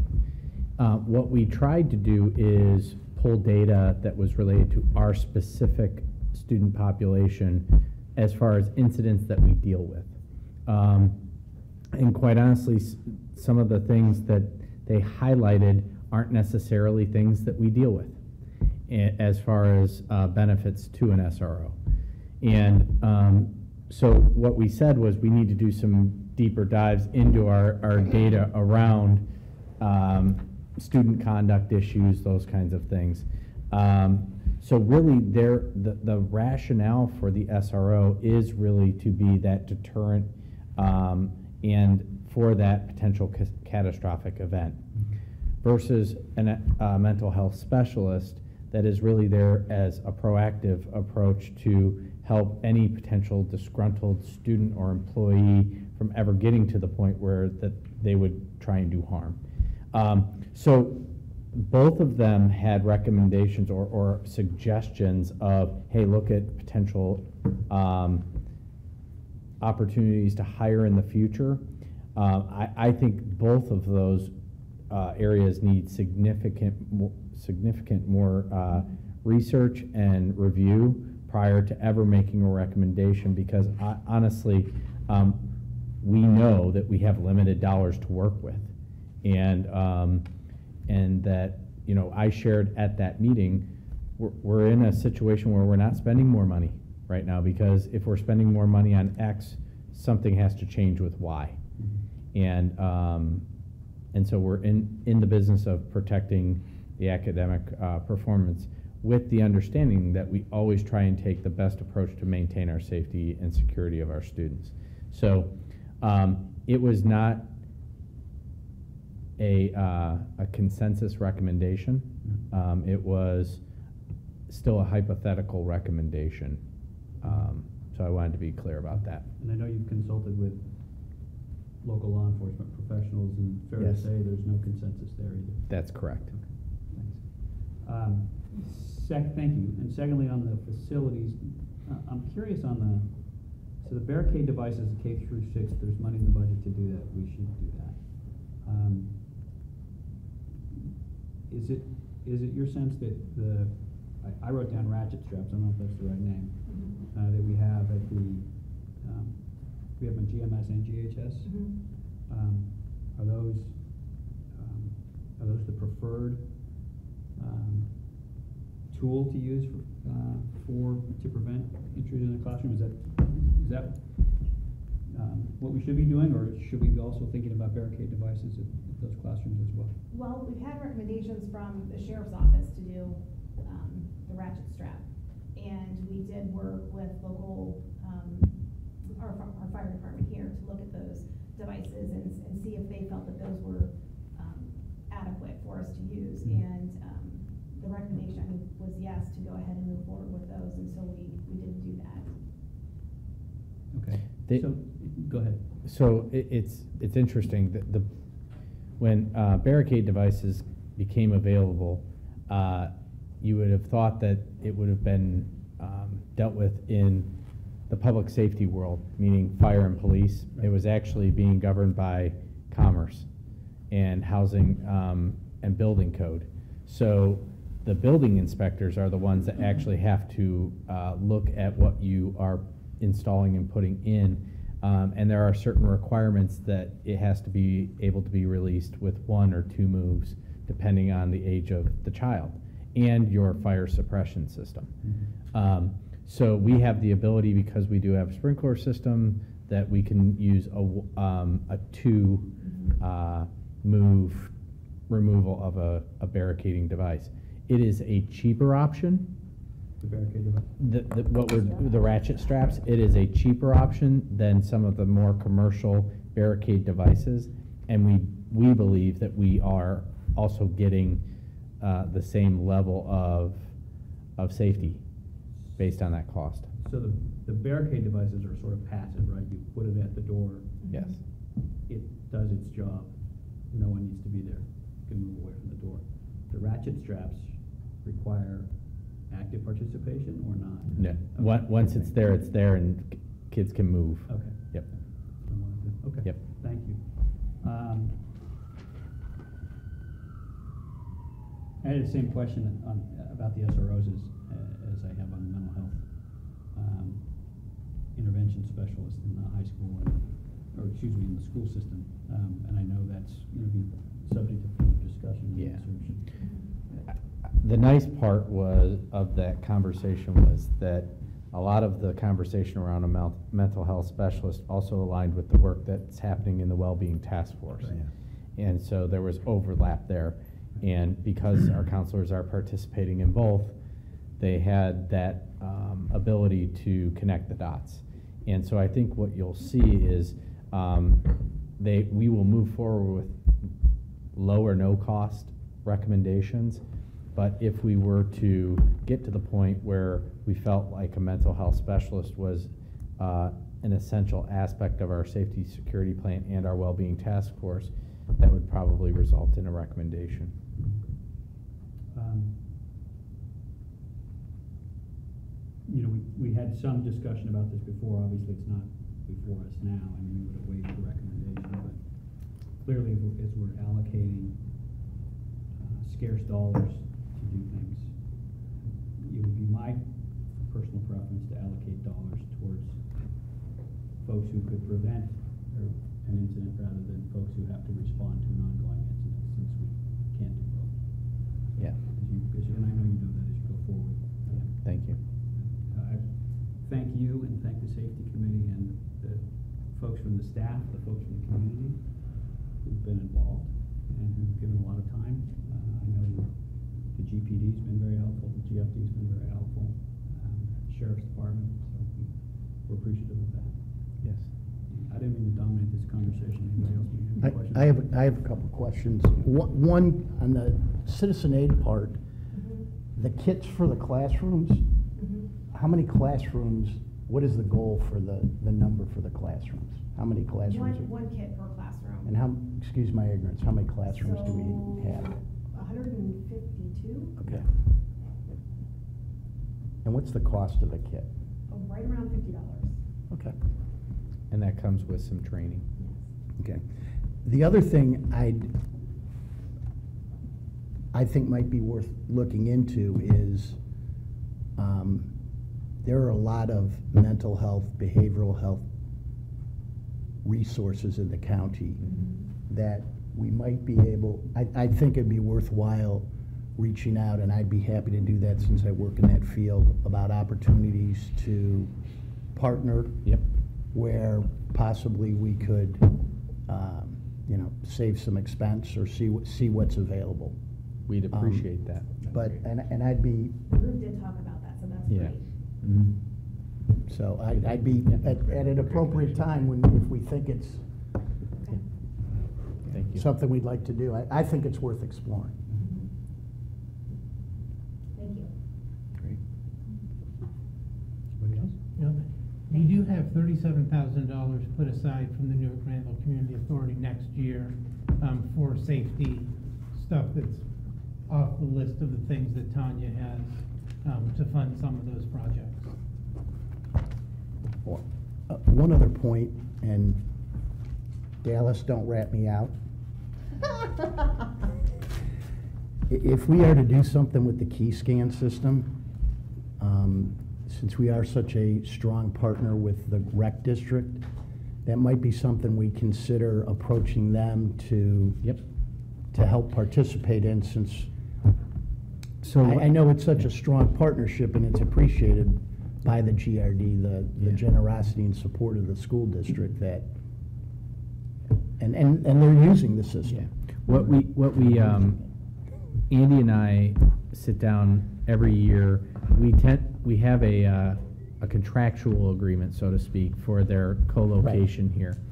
And part of that agreement is a ten thousand dollar in-kind or, you know, some type of donation. And so what we do is we usually look at what the needs are that would be mutually beneficial, um, in, in making a joint purchase or something like this. This would be one of those items that could be part of that conversation that would be mutually beneficial, because they do use the system. A lot of times, the GRD might be the last group. Right. Beyond our custodians, that's leaving the buildings at night. Um, I remember, and I've shared this, um, this story with the safety committee. When I first got to Granville, um, the police chief at the time handed me a stack of calls on open doors that was this tall. And, um, and so we, we did go take a lot of effort to try and bolster an antiquated, um, locking mechanism system. And so we're now down to this, but what we need to do is educate our parents, community members, and staff that, um, you know, propping doors is not in the best interest of student safety. And so uh, that's more of the issue now than the actual mechanisms, but we also need to update the system so it's functional. And, and, and the GRD, I know pounds into the coaches Yeah. about propping the doors open. And, you know, it's a constant, it's an ongoing struggle about, because the coach wants, because they have limited time in the gym, they want to start their practice on time, but, you know, if a kid comes late, um, it's a struggle, but the, the doors shouldn't be propped open, re- regardless. And it's not only the GRD. Oh, no, no, no, It- no. It, it happens, yeah, Yeah, yeah. it's- And As a, as a coach, I see it, and I know I make a lot of people mad, I just shut the door. You do remember you're on camera. Yeah. No, I meant to, don't let me out there, Andy. Thank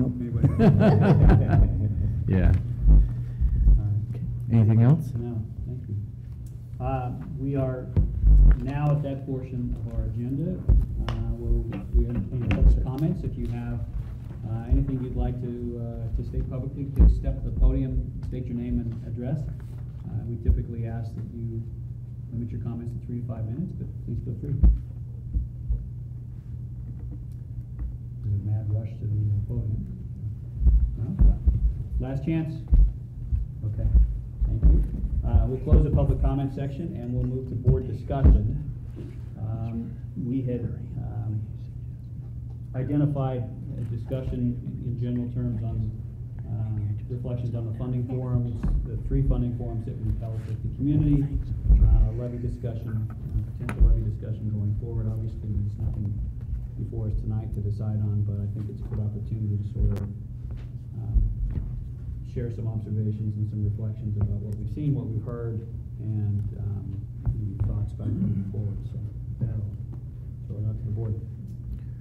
Before the board starts the conversation, Russ, you mentioned it earlier, but I want to reiterate it right now. There are several items that the board is approving tonight that are a first step that do not obligate the board in any way to, um, to ultimately make a decision in July. Um, so there are several items in the action agenda that will be related to the levy that none of them are binding, but they are something that's necessary from a timing standpoint to set the stage for a decision in July. Thank you. So just another opportunity to make that point is always Yes. beneficial. Clearly, we haven't made any No. determination on anything yet. Yep. Comments?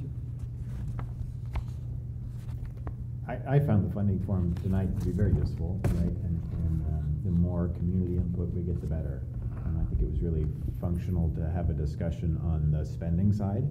And I think we've had a lot of conversation in the community over the last months on the, on the income, the revenue side that we get from taxes and things like that, which is a, eh, the same, same equation, right? It's, it's the other side of the coin to some extent, right? But it's a challenging one, even for any of us to understand the complexities of funding formulas and the taxation options and so forth. So I was sort of like refreshed to get back to, you know, the fundamentals of what we do, right? And the product that we provide and what the cost of that is that we provide. And I think that's a really useful perspective. So I think Mikey did a great job of putting that outline together again. And I think that provides some really good talking points. But I also think we need to like dig into that a little bit more and again, understand like what's optional, you know, what's state required, right? And, and what can we do uh, about that? And I, I don't want to do it necessarily in a threat kind of sense, but I think we need to be just as transparent as always, right? And really understanding what our real costs are and things. I think it's, it's important to note on the spending side that the board and administration and staff uh, really try and um, allocate resources to the best interest of students in the most efficient manner possible. Um, and I talk about um, in, in budgeting, you know, there's a scarcity mentality and there's an efficiency mentality. When you're in a scarcity mode, people hoard. Um, when you're in an efficiency model or mentality, people look for ways to be more efficient and save max dollars to allocate to a specific purpose. And I, I feel like over my seven year tenure, maybe eight years now, um, it that that efficiency mentality is all the way through the organization. And, and we look for ways to place our dollars in an area or in an expenditure in a way that really has the max benefit to the students. But we always look to be more efficient. So when opportunities present themselves, we do projects like the efficiency project where we replace boilers and LED lighting. There are ways that we can reallocate positions um, so they fit a broader need, like we did with the FCC, FCS position this year in partnership with CTEC. So really always looking at that efficiency piece is, it's never going to stop. That's part of the way that we operate and do business. So I think that's important to state.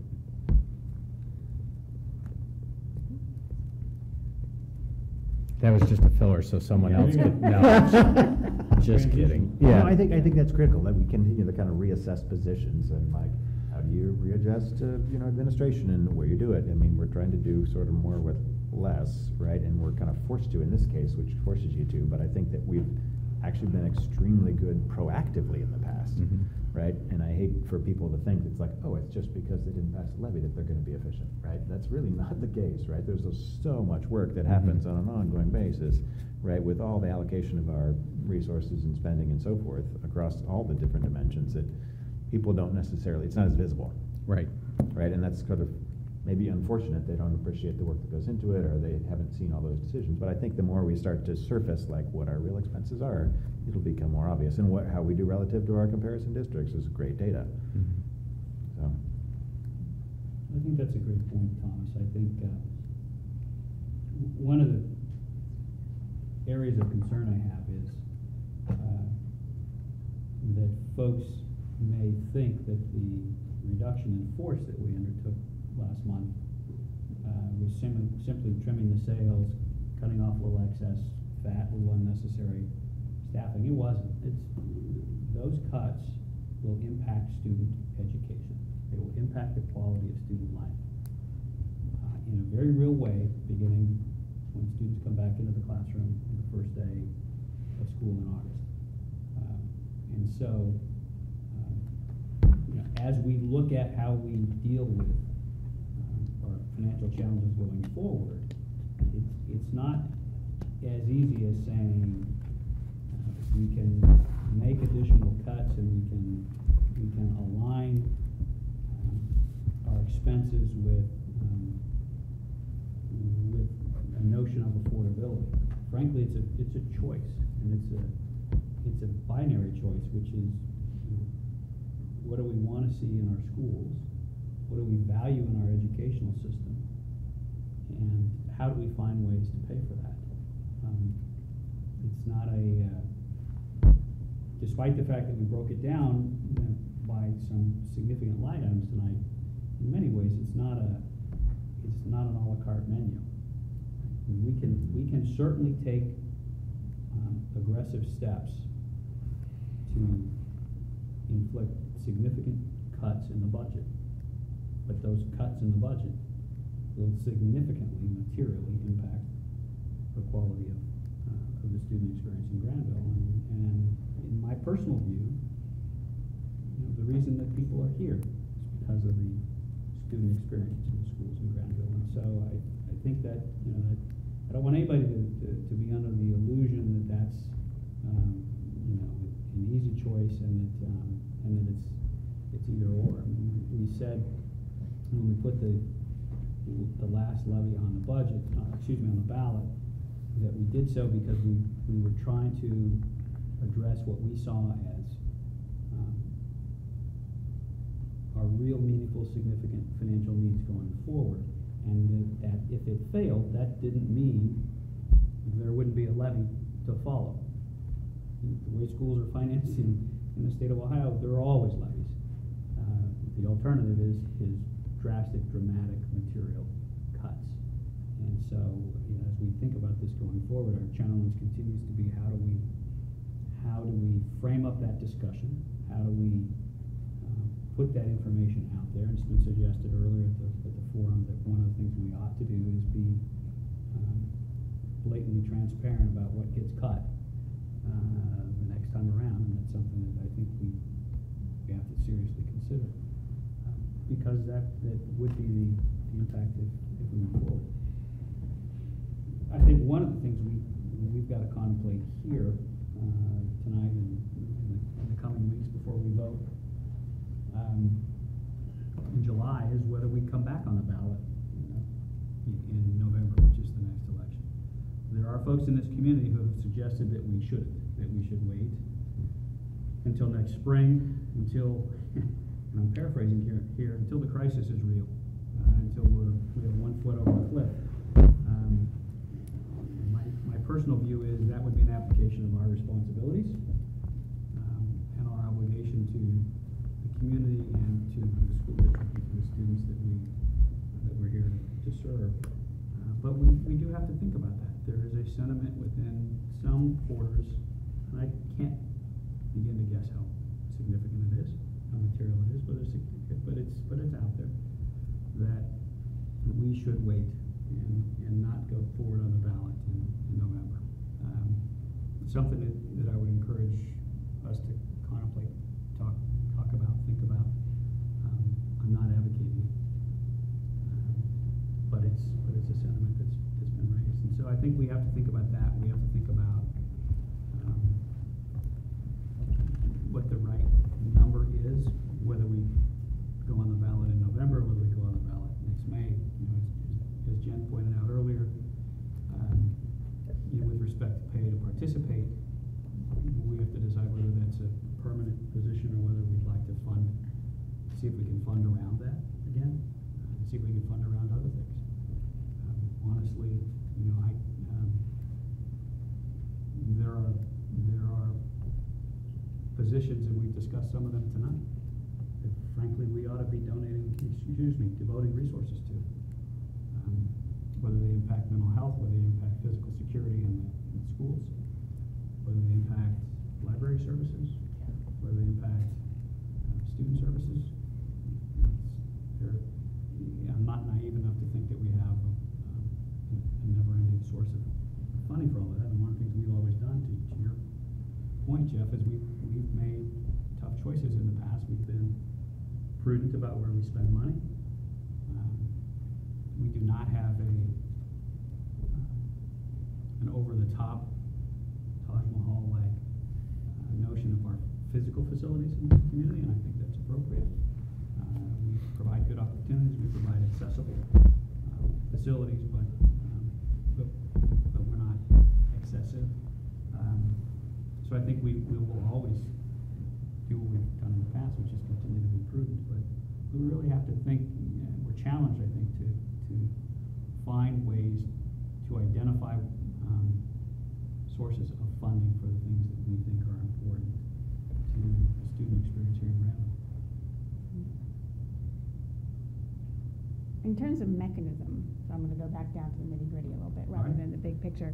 Are we under the same constraints with an, with an income tax, either earned or total, as we were before, given the cuts that we made? So like, in our, you know, previous, in going for it in May, we, we, we, we had, we had said that we need to pass an income tax either in May or November, just because of the way it ratchets up and the way money gets collected. Um, are we under that same constraint?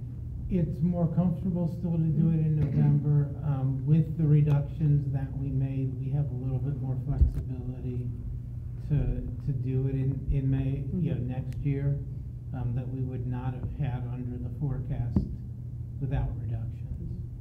Um, So, yeah, we could, we could do the income tax in May. It, we get into a tighter situation, um, the first year Mhm. Um, we can probably manage around it, um, with, because of the reductions that were- were made. barring any significant change Right. in Right. any funding mechanism that might change. Right. It wouldn't permit us to potentially reinstate any services or reduce any fees in the following school year, probably to be able to hit that bogey, I don't know. No, No, the, right. there's certainly, um, with an income tax, we would not be able to restore any services probably for an additional one to two years. um, before the, until the revenue adequately came up, you know, got up to speed. With a May income tax rather than November. Correct. Yes, yeah, because we lose a whole year of Right. collection. Revenue.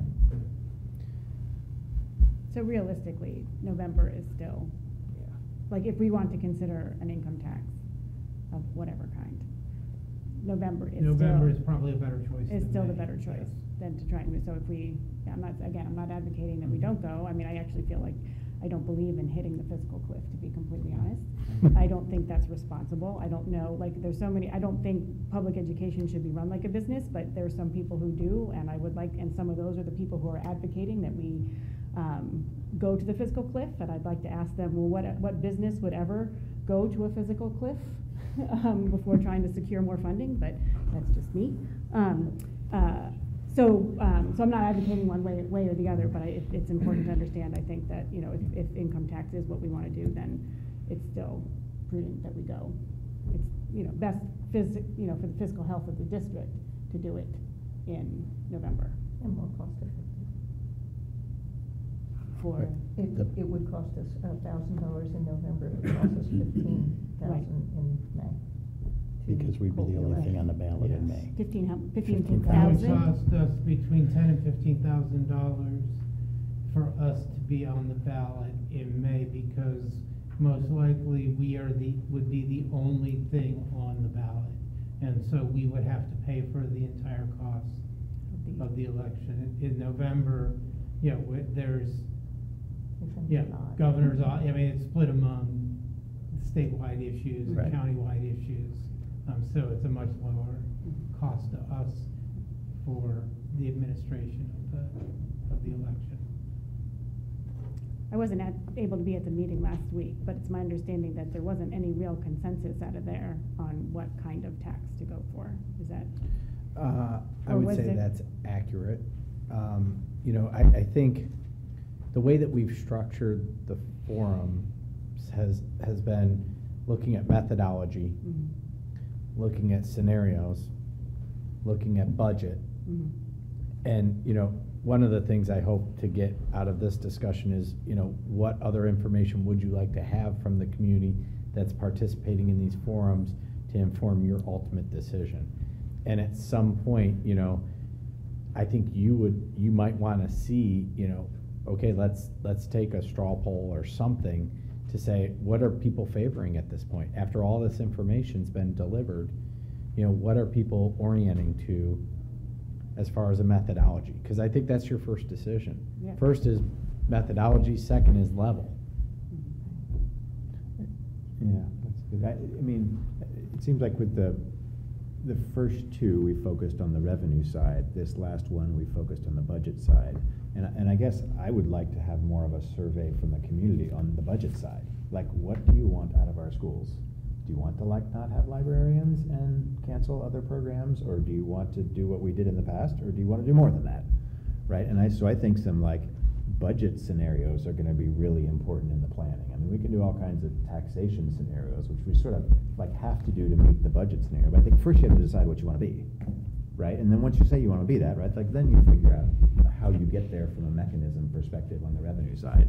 And I don't know what that, how to facilitate that forum, Mhm. but I think that's kind of the poll that we need, is a little bit about like, who do you wanna be? You know, do you wanna have music in the schools? Do you wanna have extracurricular programs? Do you wanna have, you know, foreign language, the element? Do you wanna have librarians, right?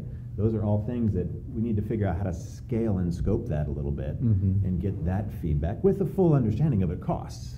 Sure. Right, like, so you can't just pick this and say, I don't wanna pay taxes, right? You have to pick that with an awareness of, there's an uh, expectation of the finances associated with it, but I think that would be very helpful for me, right?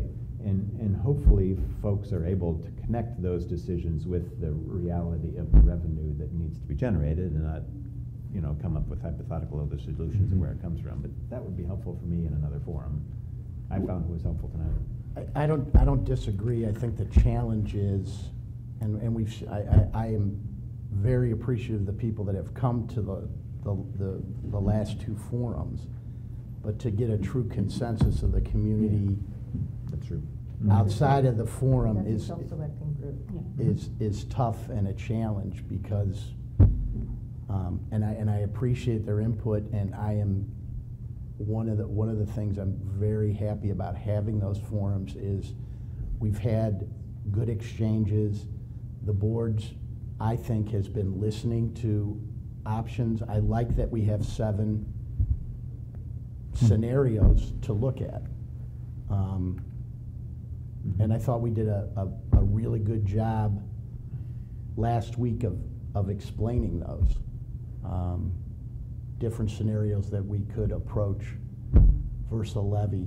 Um, It'd be great if we could pay for a poll and Mhm. to get some substantial numbers, something scientific.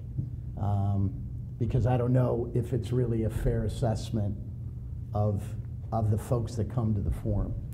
Um, I do appreciate it, and it's great, and their, their value and their coming, I can't thank them enough for it, because it's really important. I wish, I wish as many people had come to the second and the third as did the first. But the people that came to the first, we got a lot of good, a lot of great feedback. And I think we've engaged with people that were opposed to the levy um, for a number of different reasons, and I think they've, from my interaction, they're appreciative that the board is, is open and willing to listen and, and trying to decide how we go about this. And I, and I think there's been some education with the community about how, how we can, how we fund our schools and the limitations we have and the unfunded mandates. And it's great to say, run it like a business. And that's a great theory, but a school district is not just a regular business. I've run a business, and there's, there's certain things we just, we have to do that we don't have a choice with. Um, And, and unfortunately, there are things that we do now, and we do them very well, that we're not mandated to do. And I hate that we have to, that it, that it, it comes down to that. Because as, as Mr. Janice said, and I can say from my experience, that's why we moved here. Mhm. I mean, I love this community, but I moved here for the schools and the education my children received. And I'm hoping people appreciate why they moved here and that, that they, hopefully they bring to the table the idea of paying it forward so other children have the same opportunities that theirs had. Mm-hmm. Because at least personally, I feel if that's, that's the least I can do to pay back the advantages and the things that my children received, is if I can do that for the next generation, being an old man here and my kids are grown, I, I, I feel like that's, that's the least I can do for, for my community is to try to offer those same opportunities, if not more, if not more for those kids.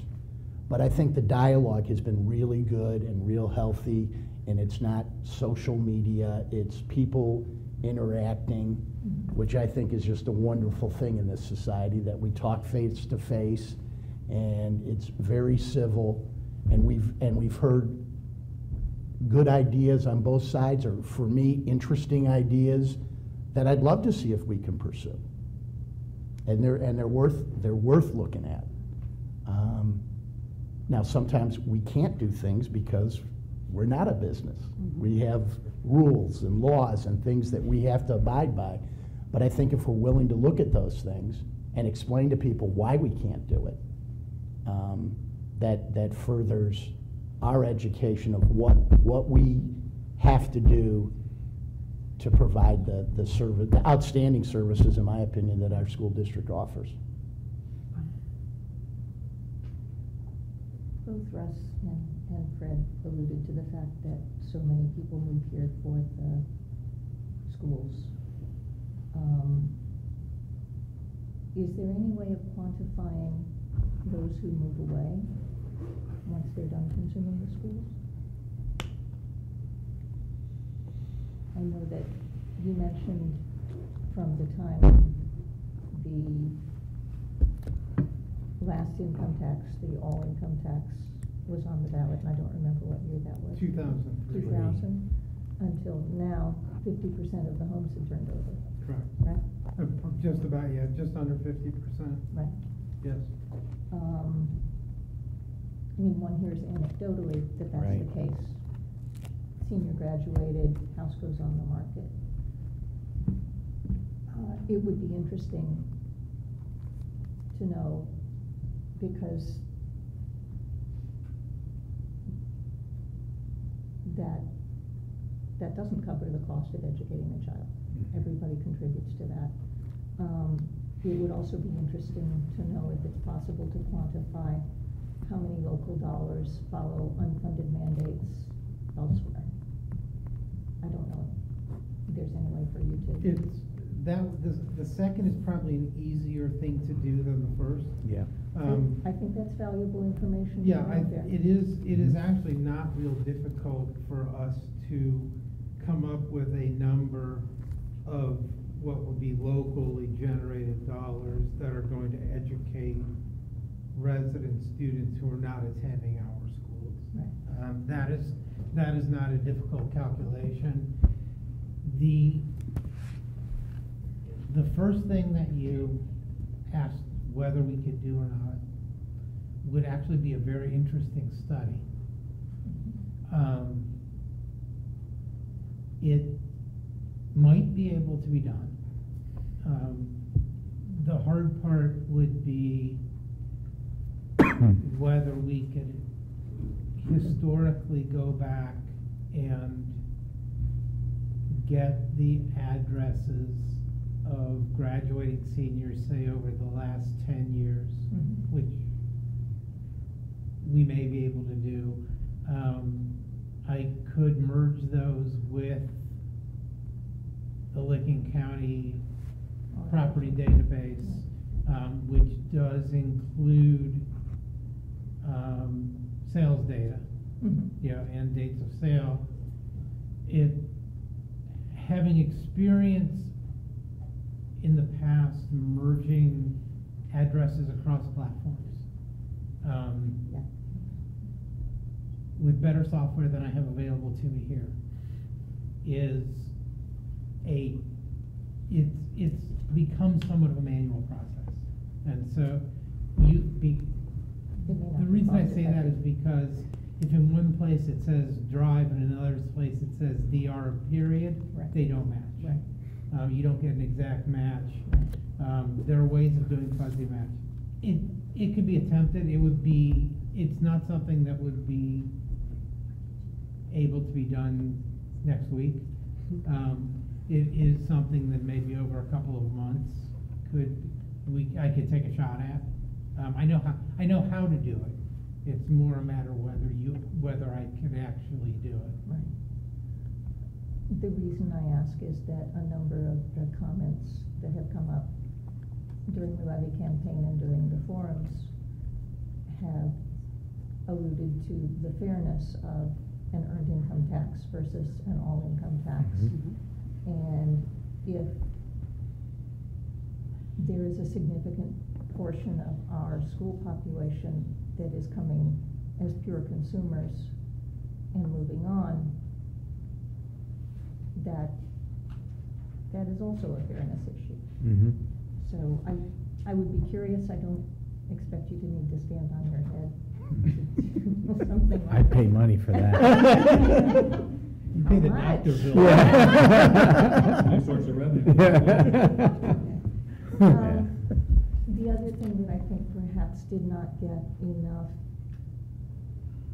emphasis during the campaign is the fact that an income tax earned or all does not eliminate property tax No.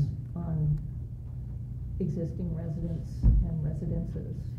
I mean, there's still a, a substantial property tax burden spread Universal, yeah. Exactly, thank you.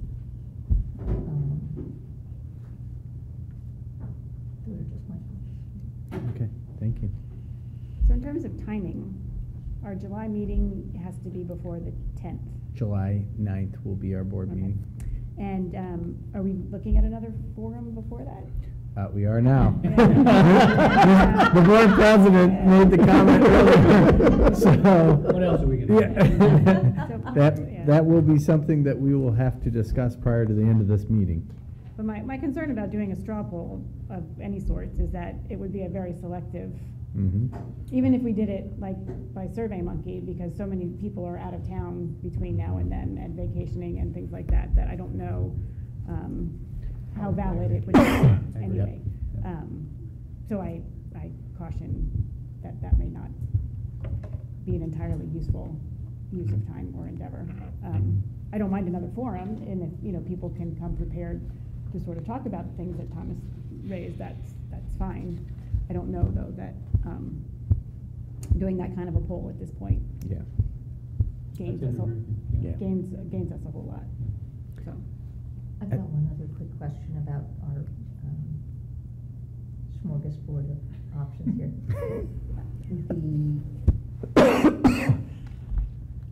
the ones with millage refer to a continuing period, the ones with income tax refer to no period in particular. Is is that a- the way they have to be? That is a function of the law as it is right now. Um, The income tax, the duration is a part of the second resolution, not a part of the first resolution. But now with a, the changes in the property tax law ballot issues that were done last year because of the Delaware Career Center fiasco, um, you actually have to specify the period in the initial resolution. So that is, that is strictly a function of what the law says you have to do now. I would prefer not to have to, to do it that way, that would be part of the second res, the second resolution, that is not a choice in property tax. Thank you.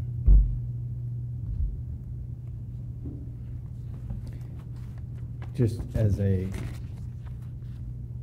an option. Pulling out your calendar. Yeah, um, because I'm, I didn't bring I'm gone next week.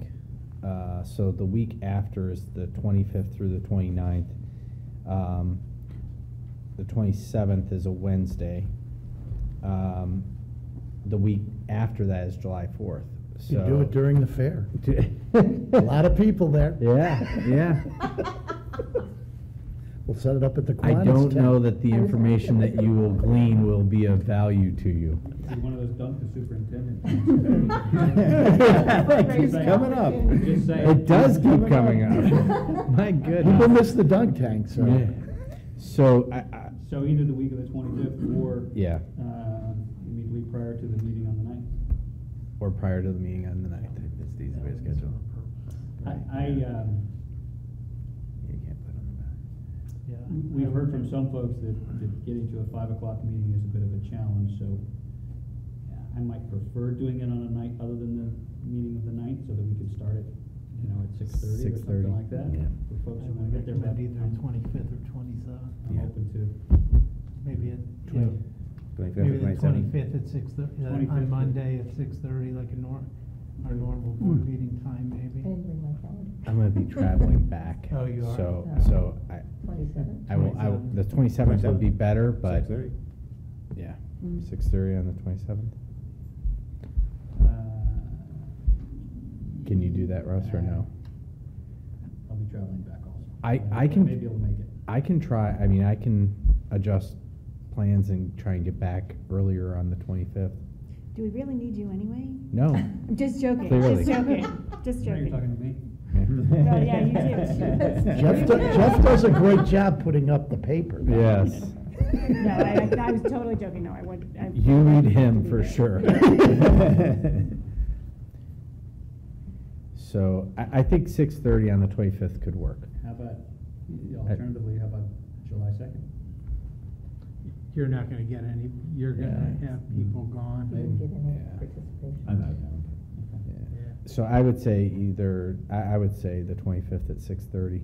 Let me check tomorrow on the twenty-seventh. Okay. And, um, see what I can do about that. All right. Okay. We will communicate out All right. via the Thank you. media. Um, yeah, no, I, look, we've, we've said at the start, we wanted to hear from the community, I think we've done that.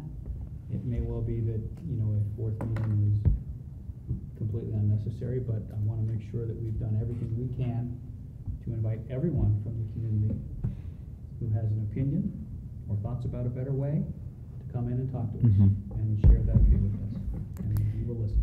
And as promised, eight years ago, I will provide a recommendation. That will be some, an interesting conversation between the two of us. We've had multiple. Um, but I, I view it as my responsibility to say this is something that I, I would recommend, um, just from that standpoint. And then you can factor that into your equation. Um, and, and uh, Mike and I have gone back and forth on, on all of these scenarios more than once. At least all these scenarios. Yes. Well, and as, as, as you both said consistently, there is no perfect solution. Correct. And we're trying to find the best, um, best possible solution that, that we can. Yep. Any more comments? Okay. All right. Uh, Board reports? Board reports, yes. Jen? So I have to go to my phone because my printer broke, so Matt, oh, Matt's not here anymore. You got a text that he had? Mr. Happing, is that okay if we? Matt got a text. I just have a few notes. It's your life. Oh, that was good. My information is in my email, so, um, no, I'd just like to report out, um, the CTEC, um, Honors Night was the Friday of Memorial Day weekend, and, um, Mr. Durston and Mr. Brown joined, you know, were there, and, um, I always like just to give a little bit of information about the graduates out of, um, out of CTEC. And so there were two hundred and fifty-four, uh, students who completed their, um, CTE education. Um, the seniors had earned approximately seven hundred and nine thousand dollars through school-to-work employment opportunities. Um, the seniors earned 539,000 dollars in college scholarships and have earned six hundred and twenty-two college credits while enrolled at CTEC. And so those were some of the statistics that the superintendent shared um, at graduation. She also has everybody stand up who completed a um, certification in their field, is going to be working in their field, is going to be continuing their education in their field, um, who um, earned some sort of an honor through the, the student um, HOSA, which is the um, health, or, you know, their, their student um, competition groups, and pretty much every single student stood up, stood up for one or more of the reasons that, uh, that she had announced. And so it was a very successful class. And they you know, lots are going, you know, going on to college, going on to military, going on to work in their fields. And that's one of the things that CTEC gets um, graded on is, is um, the numbers who go on to work or either on to higher education or work in the field that they actually did their study in. And I think we always get an A, um, um, or B plus or an A in, in that. So um, it's a it's an amazing resource. I you know love being you know representing Granville on that board and um, really happy with all of the collaborations that we've done with them over the over the past few years. So, um, but that's I just like to share graduation statistics. Thank you for Um, yeah. Um, CTEC does a great job. They do. And we had, we had more Granville students that went through their, that, uh, graduation than, than usual, Yeah. so. How many? that was- We had eight. Great. So, Fantastic. yeah. Yeah, good. Yeah. That's all. I will put my phone away now. All right. Now I'm self-conscious. Or else Mr. I don't know Carpenter's gonna confiscate it. All right, a quick update on the GEF, uh, Granville Education Foundation met, um, and uh, a little bit of a passing of the torch. Wendy Battelle is the outgoing president, Laura Romano is the incoming president of the GEF, so we're very thankful for her and the other officers. I don't have a complete list of those officers and trustees currently, I can probably bring that at some point in time. Uh, but it's a fantastic group, and uh, Laura will do a great job continuing that. One of the actions that they took at their last meeting, uh, we'll see a, a nice long list of gifts in the, in the agenda here uh, for grants and things like that. They also had a significant and long discussion about supporting the school district more directly with the intermediate school orchestra position. And they did approve a thousand dollar grant specifically to ensure that that position continues. Uh, they've had a great cooperative relationship with the Music Boosters. And in cases where they've received a request for a grant, they've partnered with the Music Boosters. In this case, the Music Boosters felt that this was in mutual interest, and so the GEF stepped up to that. So Um, so that's, that's huge, and it's, it was, uh, it's a real discussion, right? Because that's not their wheelhouse, that's not their standard, that's not what they do. And that wasn't a kind of a, you know, a carte blanche for continuing this in the future, that was like, this is sort of a stopgap measure until our community figures out, you know, what we're gonna do about funding our schools sustainably. So I'm very thankful that they've found a way in their budget to come up with that support. Um, and so we see that reflected in the agenda later. It's, it's interesting for our booster organizations and, and how they're stepping up, but I'm just very grateful that, you know, that they are such strong supporters of, of all that we do here. And that intermediate school orchestra position is a critical one in so many ways, not just for the kids it serves, but for the organization of the district. So they appreciated that Mhm. and they stepped up to it. Yep. Yeah. They also have several grants. Yeah. Yeah, Yeah. that will be awarded. Thank you, Thomas. Okay, Any questions? Action agenda? all right. Uh, the first action item is ten point oh one, student handbooks for the eighteen nineteen school year. So moved. Second. Okay, uh, you heard from Mr. Durst earlier. Obviously, several jokes have followed. Um, but, uh, the, the handbooks are at the elementary level, uh, minimal change, just natural updating, and then some of the items that you heard tonight. So th- it's the first and final reading with the changes that he proposed? Yes. Yeah, so what we're going to do is I can bring it back for another reading in July. Um, there are some deadlines for things to get printed, so, um, Do we actually still whatever. print them? n- We don't print the handbooks, but there are some things that need to start moving forward from a. Yeah, print I'm not really standpoint. comfortable yet moving forward with his recommendations on particularly, well, actually, the cell phone one I'm okay with, but, um, with the, uh, merging of the, um, two policies on substance abuse and tobacco. I'd like to think about that a little bit more. So do we not approve that one now or pending? Pending review. I think it's appropriate to do a first and a second reading. There were a lot of things that were proposed there that I Yeah. think might benefit from some community vetting and feedback there. Um, and just having had one reading of it, I would, if it's not a significant administrative issue, to be able to think through that and get some feedback, that might be valuable on those. So, But- uh, Do- go ahead. I was, I was just gonna ask a question. Does it help or is it not, is it inappropriate? Could, can we pass some of them? Or do we wanna do them as a group, is my question. I, I think if, at, at a minimum, you could pass the elementary and intermediate because there's very little impact. Does that help at on all, or. I, I- Um, I'm it, just it curious. moves the ball at some level, but, you know, cause I understand the, Yeah. the thought on the, on the, the other two. So I, I, I think that's, that makes sense to me, We lump the middle and high school together. So Mhm. what we need is a motion to table the middle and high school? Yep. So moved. Second? Who's that? I'm sorry, who's that? Jen? I did, sorry, Okay. Jen. So, discussion purposes for that, so we would, we would want a second reading, uh, and discussion opportunity at our July meeting with respect to the middle and high school uh, handbooks. mhm. And all of the changes discussed for the high school that Mr. Durst proposed are also equally reflected in the middle school in terms of both the tobacco use and the self, and the bring your own device correct. policy changes. Okay. Okay. Is- there, let me ask, um, and I, I share some of the same concerns. Are there things that the board wants to hear, um, at the next meeting or in advance of the next meeting about the proposed policy changes that would help inform the decision? I'd like, if he could forward, if we could get a written idea of what those, exactly the changes he's talking about, that would, that'd be helpful to me. I'd put that in the, in, well, I put that in the BIF, I think. Did you? I'm sorry. Two weeks ago, that's okay, um, I can resend it. We, we've had other things on our minds, so, um, you know, I think typically we would have had a lot more advance notice, but, you know, we're But it would be we're useful to crushing. have, like, what we, what, what is current. Sure. As well as Yep. what he wants it to change it to.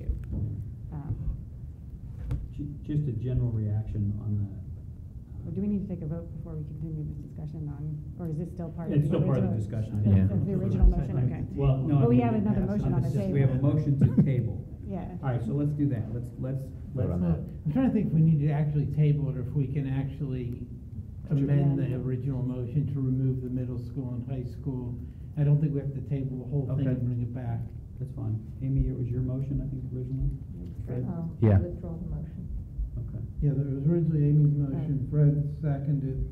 Um, So we we need a motion to remove the middle school and high school from it, and then we can pass it without those. Okay. So moved? Second. Any discussion? Let's take the roll, please. On the motion to remove the Yeah. middle and high school.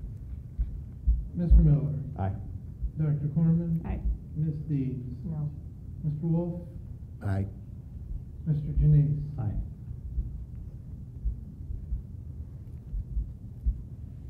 Okay. And now, the amended, uh, or the new motion is for the approval of the elementary and intermediate school. Yeah, that, there's no, Yeah, we right. don't No, no. have a motion. Okay. Standing. This is just a vote on the, So it's still Mrs. Deeds and Mr. Mr. Wolf. Ms. Deeds and Mr. Wolf Okay. to, yeah, the as amended. Elementary and middle. And we're Yeah, still Excuse me, discussing. Elementary and intermediate. And we can still discuss No, that. I withdrew the motion. Oh. Yeah. That's true. All right. Someone want to make a motion then? to, Yeah. um, To approve the elementary and intermediate school handbooks. So moved? Second. Should we discuss that and discuss whether things we need for the other two as well? Because we're just Sure, discussing. probably Yeah. So a good question about what we need to make that decision. I, I think I just need to do a little thinking myself and maybe surveying our community members and so forth and reviewing better the documents. So thanks for sending them out, but I didn't get into the red line detail about what the implications were and I had some questions on both Yeah. policy changes. So I don't know that I need anything specifically more. But just to look at the documents Sure. again more closely, that would be great. We can do that. Anybody else? No? Okay. Take the roll. Mr. Miller. Aye. Dr. Corman. Aye. Mr. Wolf. Aye. Ms. Deeds. Aye. Mr. Janice. Aye. Okay, thank you.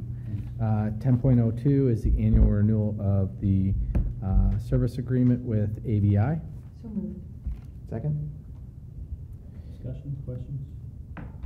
Just so you know, we're, we're in a longer period of a contract, but we renew them annually to do the evaluation process. And we're very satisfied with AVI.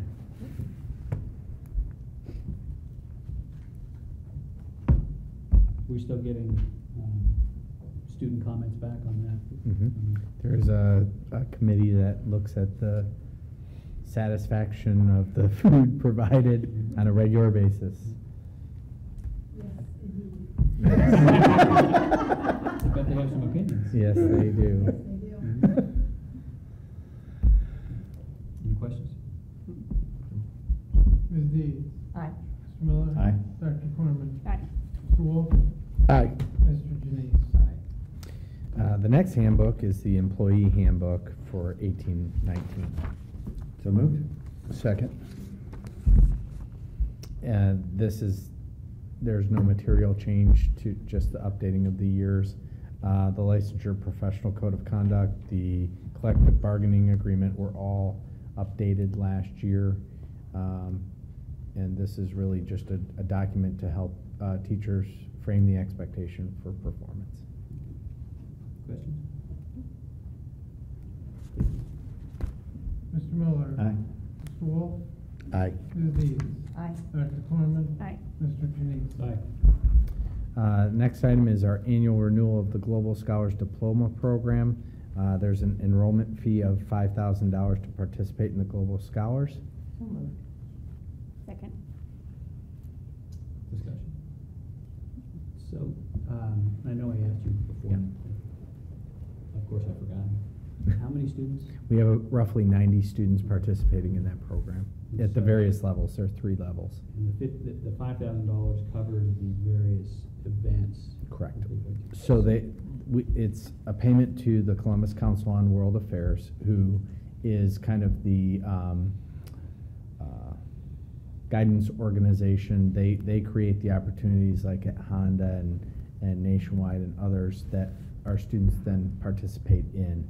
And so really, it's just the cost of those types of events. And we have a supplemental associated with it as well? Mr. Hopping, it's built, oh, he left, he, he just left.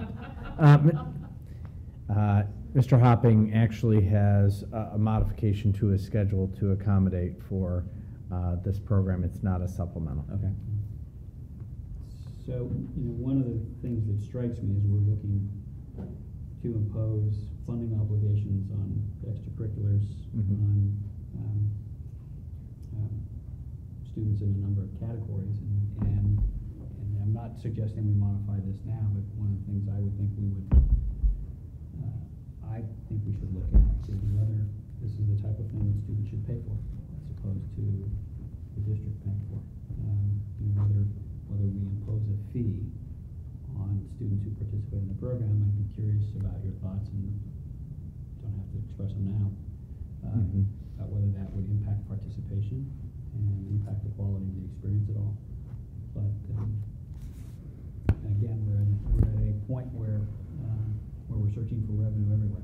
Right. And This may be an opportunity as well. Um, a couple of points. One, I should say that for all the other districts in the consortium, it's a ten thousand dollar fee, but because we were a pioneer and the first pilot district, we've maintained our five thousand dollar fee, so we're already getting a discount. Uh, it is something that we could associate a fee with. Um, there are other fees that are tied to outside activities like youth and government, those types of activities. So it is something that we could look at as an option. Um, I would suggest if you want to, me to do that, bring back a fee for that, a fee schedule for that item, but still move forward with the approval tonight. I, I'm fine with that. I, you know, to, to your point, I think, you know, I would ask, it's more work, but I would ask to contemplate what other similar activities we have, some that we charge fees for and others that we don't. Mhm. It'd be helpful to see a schedule of those. Okay. I'll bring that back in July. Do we have other extracurriculars that have fees beyond the activity fee or proposed participation fee? Well, I- we have academic courses that Right. have a fee associated with them. Yeah. Like labs and things like that. So, Yeah, and there are clubs that, Yeah. like, the Spanish club might go to a Spanish-themed restaurant and Right. parent, their, the parents pay for, for that. Mhm. Does, does the example of youth and government, does their act, does the activity fee cover all of their Youth and costs? government is separate because it's actually run by the YMCA. Okay. So it's a separate funding process. They, pa- and you, the, the parent or the student bears the entire cost of that event. Thank you. I don't think we charge a fee for mock trial, do we? Okay. Is, is there any fee, is there any cost involved in mock trial? Um, there's a supplemental, I believe. Right. Mr. Wade receives a supplemental, and then there are, there's minimal transportation to the mock trial competitions that they participate. But the competition itself, it, there's no registration I don't fee? believe there's a fee for Okay. competition. Yeah. Okay. Good question. Thank you. Any other questions? Take the. Ms. Deeds? Aye. Dr. Corman? Aye. Mr. Miller? Aye. Mr. Wolf? Aye. Mr. Janice? Bless you. Um, action item ten point oh five, the, I'd recommend an administrative and exempted employee salary schedule increase of two percent for cost of living. So moved? Second? Discussion?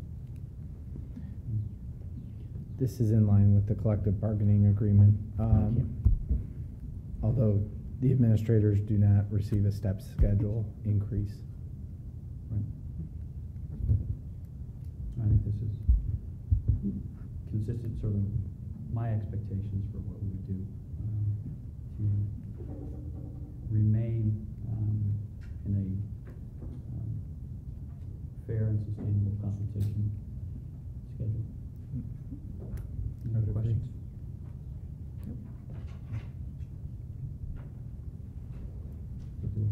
Mr. Miller. Aye. Dr. Corman. Aye. Mr. Wolf. Aye. Ms. Deeds. Aye. Mr. Janice. Aye. Thank you. Uh, 10.06 is the SOAR Learning, Leading and Learning Collaborative Agreement with uh, Battelle for Kids. So Second. Okay, uh, the Learning, Leading and Learning Collaborative is a twofold contract which, uh, involves, uh, professional development and data analysis through Battelle for Kids. Um, they do a lot of work just funding some of our internal metrics and looking at our data. Um, but they also provide professional development opportunities for strategic planning and also, uh, a lot of the work around the portrait of a graduate. So that's something that we're gonna be spending a lot of time on this next year, and they will help facilitate that. Great. Questions? Ms. Deeds? Aye. Mr. Wolf? Aye. Dr. Corman? Aye. Mr. Miller? Aye. Mr. Janus? Uh, the next item is ten point oh seven, contracted service agreement with Ohio State University. So moved. Second. Okay. Uh, this is our uh, renewal of our contract for sports medicine services for our athletic trainings. uh, People that work on the sidelines with our athletes Great. at all of our sporting events. Same contract, any changes to the contract? Nope, Yep. contract remains the same. Tom, as I recall, as part of that contract, they donate some additional medical services. They do. Yeah. Consultation time with, uh, orthopedics. That's Yep. correct. This would have been one of the types of expenditures, when you asked earlier, that was in the athletic, but not in the Right. supplemental. This Right. would, this would be one of those. No, they do, you know, having had a student who's injured and was able, was seen by an orthopedist for free, Mhm. um, was, you know, very beneficial. so. Yeah, They, they do, a they do a very good job, very professional. Yeah. yeah.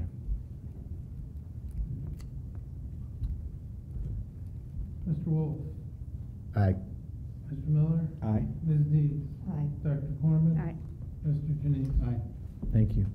Uh, ten point oh eight is the replacement of, uh, GES and GHS rooftop units. So moved.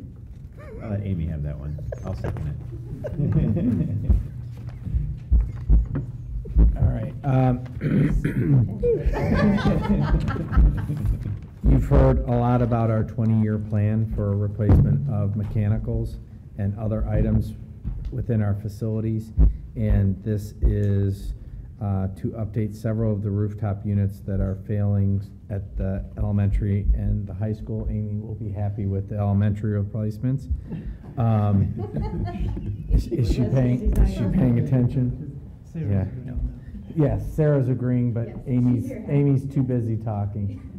The, We're talking about. the, the rooftop units at the Elm, yeah. Let's hope it works. Yes, um, so, uh, all of these items are, uh, state, state term bidded, or items, so it's state term that. It's actually pricing. below state, they were Yeah. able to get bids that were below state term pricing. Yeah, so, um, it's a good opportunity to keep in line with our twenty-year plan. Yeah, and this is, What's that? State term pricing must not be negotiated very well if these are less than state Yeah. term pricing, but that's another story. yeah, and this is part of what was set aside for mechanicals in the current year budget. This is the last of the big expenditures from the current year capital budget. Okay.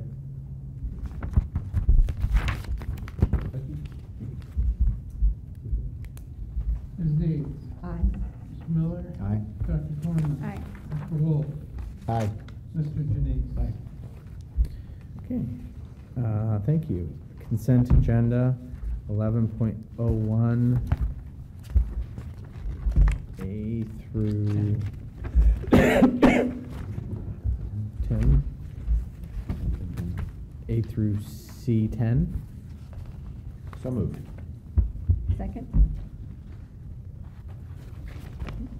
Okay, uh, I'd like to call your attention, uh, Mr. Miller referenced the donations uh, previously from the Granville Education Foundation. Those are within our donations um, area. We have multiple supplementals for the 18-19 school year. These tend to be our team leader and um, some of our fall sports. We have a long list of um, substitute teachers for the 18-19 school year. Um, We have uh, replaced one intervention specialist, Jennifer Clark. Uh, We actually reallocated some intervention specialists and ultimately hired the replacement at the elementary, or at the intermediate school. Um, But the original vacancy was at the high school with uh, Megan Strayer, who left. Um, Then we also have the renewal of some administrator contracts there. And I would call your attention to the resignations of Aaron Carpenter and Tom Craze.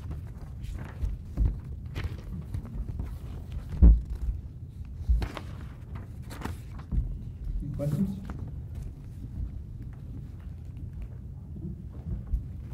Please. Mr. Miller? Aye. Dr. Corman? Aye. Mr. Wolf?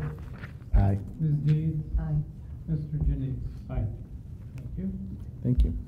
That brings us to the financial laundry list. First is the Oh, approval of the May um, financial statements. So moved. Second.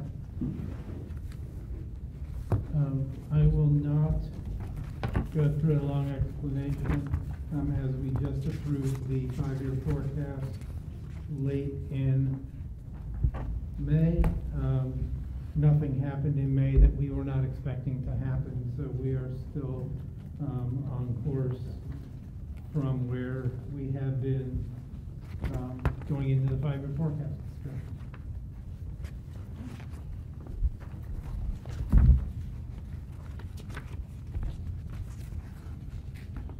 Questions?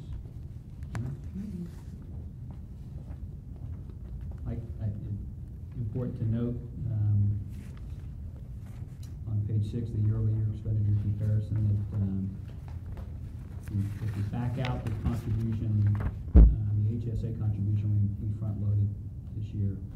Expenses are up two percent year-over-year, which is pretty darn, uh, conservative and consistent with CPI.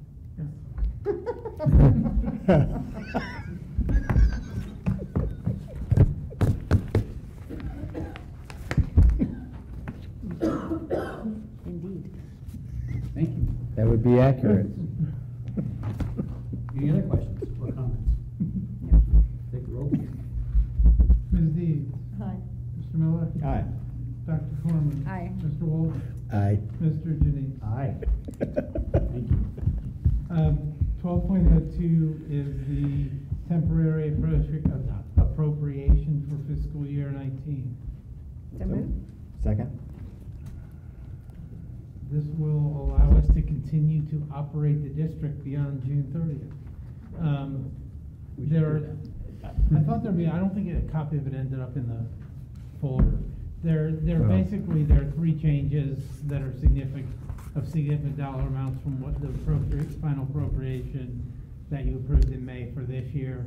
Um, there's a six hundred thousand dollar increase in the appropriation for the operating budget to cover, um, the changes in the operating budget that are, you know, from a year, a year further along. Um, there's also about a six hundred thousand dollar increase in the 022 fund, which is to accommodate the change that we made January first in how we're accounting for STRS. Um, so that actually becomes cleaner. Um, but this year it was only in there for half a year, um, so it'll be in there for a full year. And the last is about a two hundred thousand dollar decrease in the, uh, bond fund appropriation. That is because we are just making or have just made, one of these, Tina's not paying attention. She's got her phone. Put down your. Hey, don't confiscate her House bill, Oh, on the agenda that you just approved. the House Bill two sixty, the House Bill two sixty-four loan was, did we make, that payment was just being made, the last payment on the old two sixty-four loan.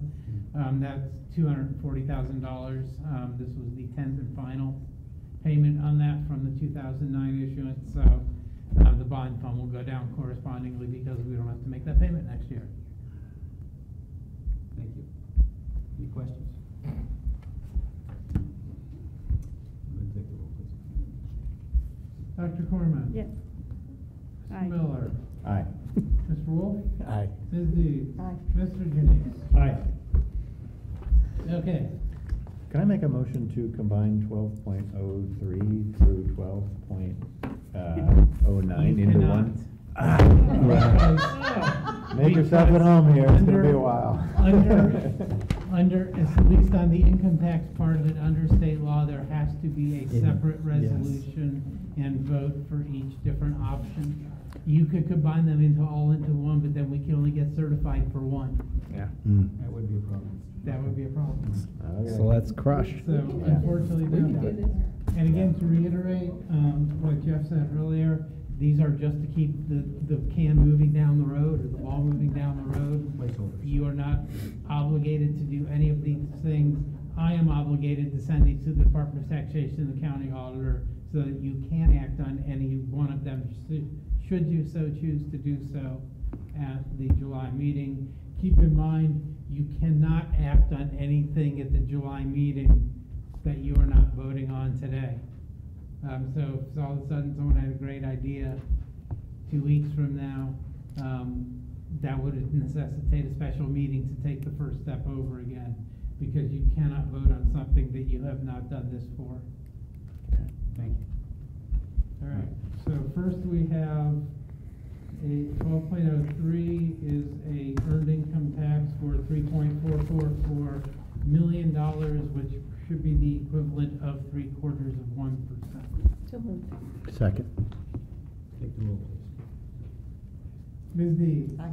Mr. Wolf? Aye. Dr. Corman? Aye. Mr. Miller? Aye. Mr. Janine? Aye. Twelve point oh four, an earned income tax for four million five hundred and ninety thousand dollars, the equivalent of one percent. So moved. Second. Take the roll, please. Mr. Miller? Aye. Mr. Wolf? Aye. Ms. Deeds? Aye. Dr. Corman? Aye. Mr. Janice? Aye.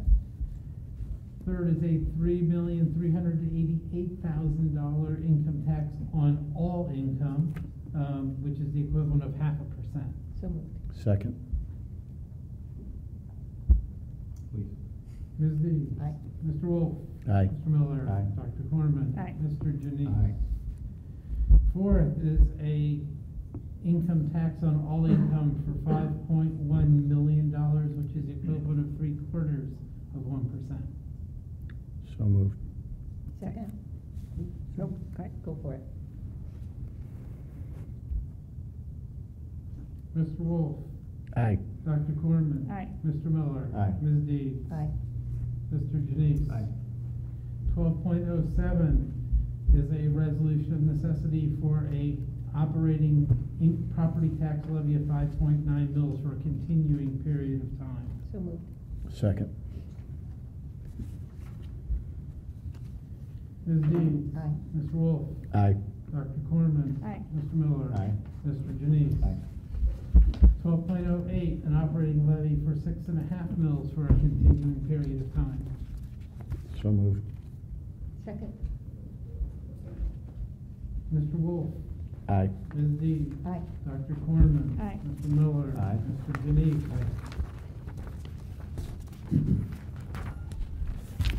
And finally, a resolution of necessity for a, to renew the one point seven mil permanent improvement levy for a continuing period of time.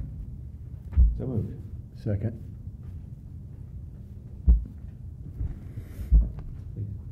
Mr. Miller? Aye. Mr. Wolf? Aye. Ms. Deeds? Aye. Dr. Corman? Aye. Mr. Janice? We have a motion uh, to enter into executive session to consider the employment of a public, uh, of public employees or officials. So moved. Second. Take the roll, please. Ms. Deeds? Aye. Mr. Wolf? Aye. Mr. Miller? Aye. Dr. Corman? Aye. Mr. Janice? Aye. Uh, There will be no further action after this. Thank you, all of you.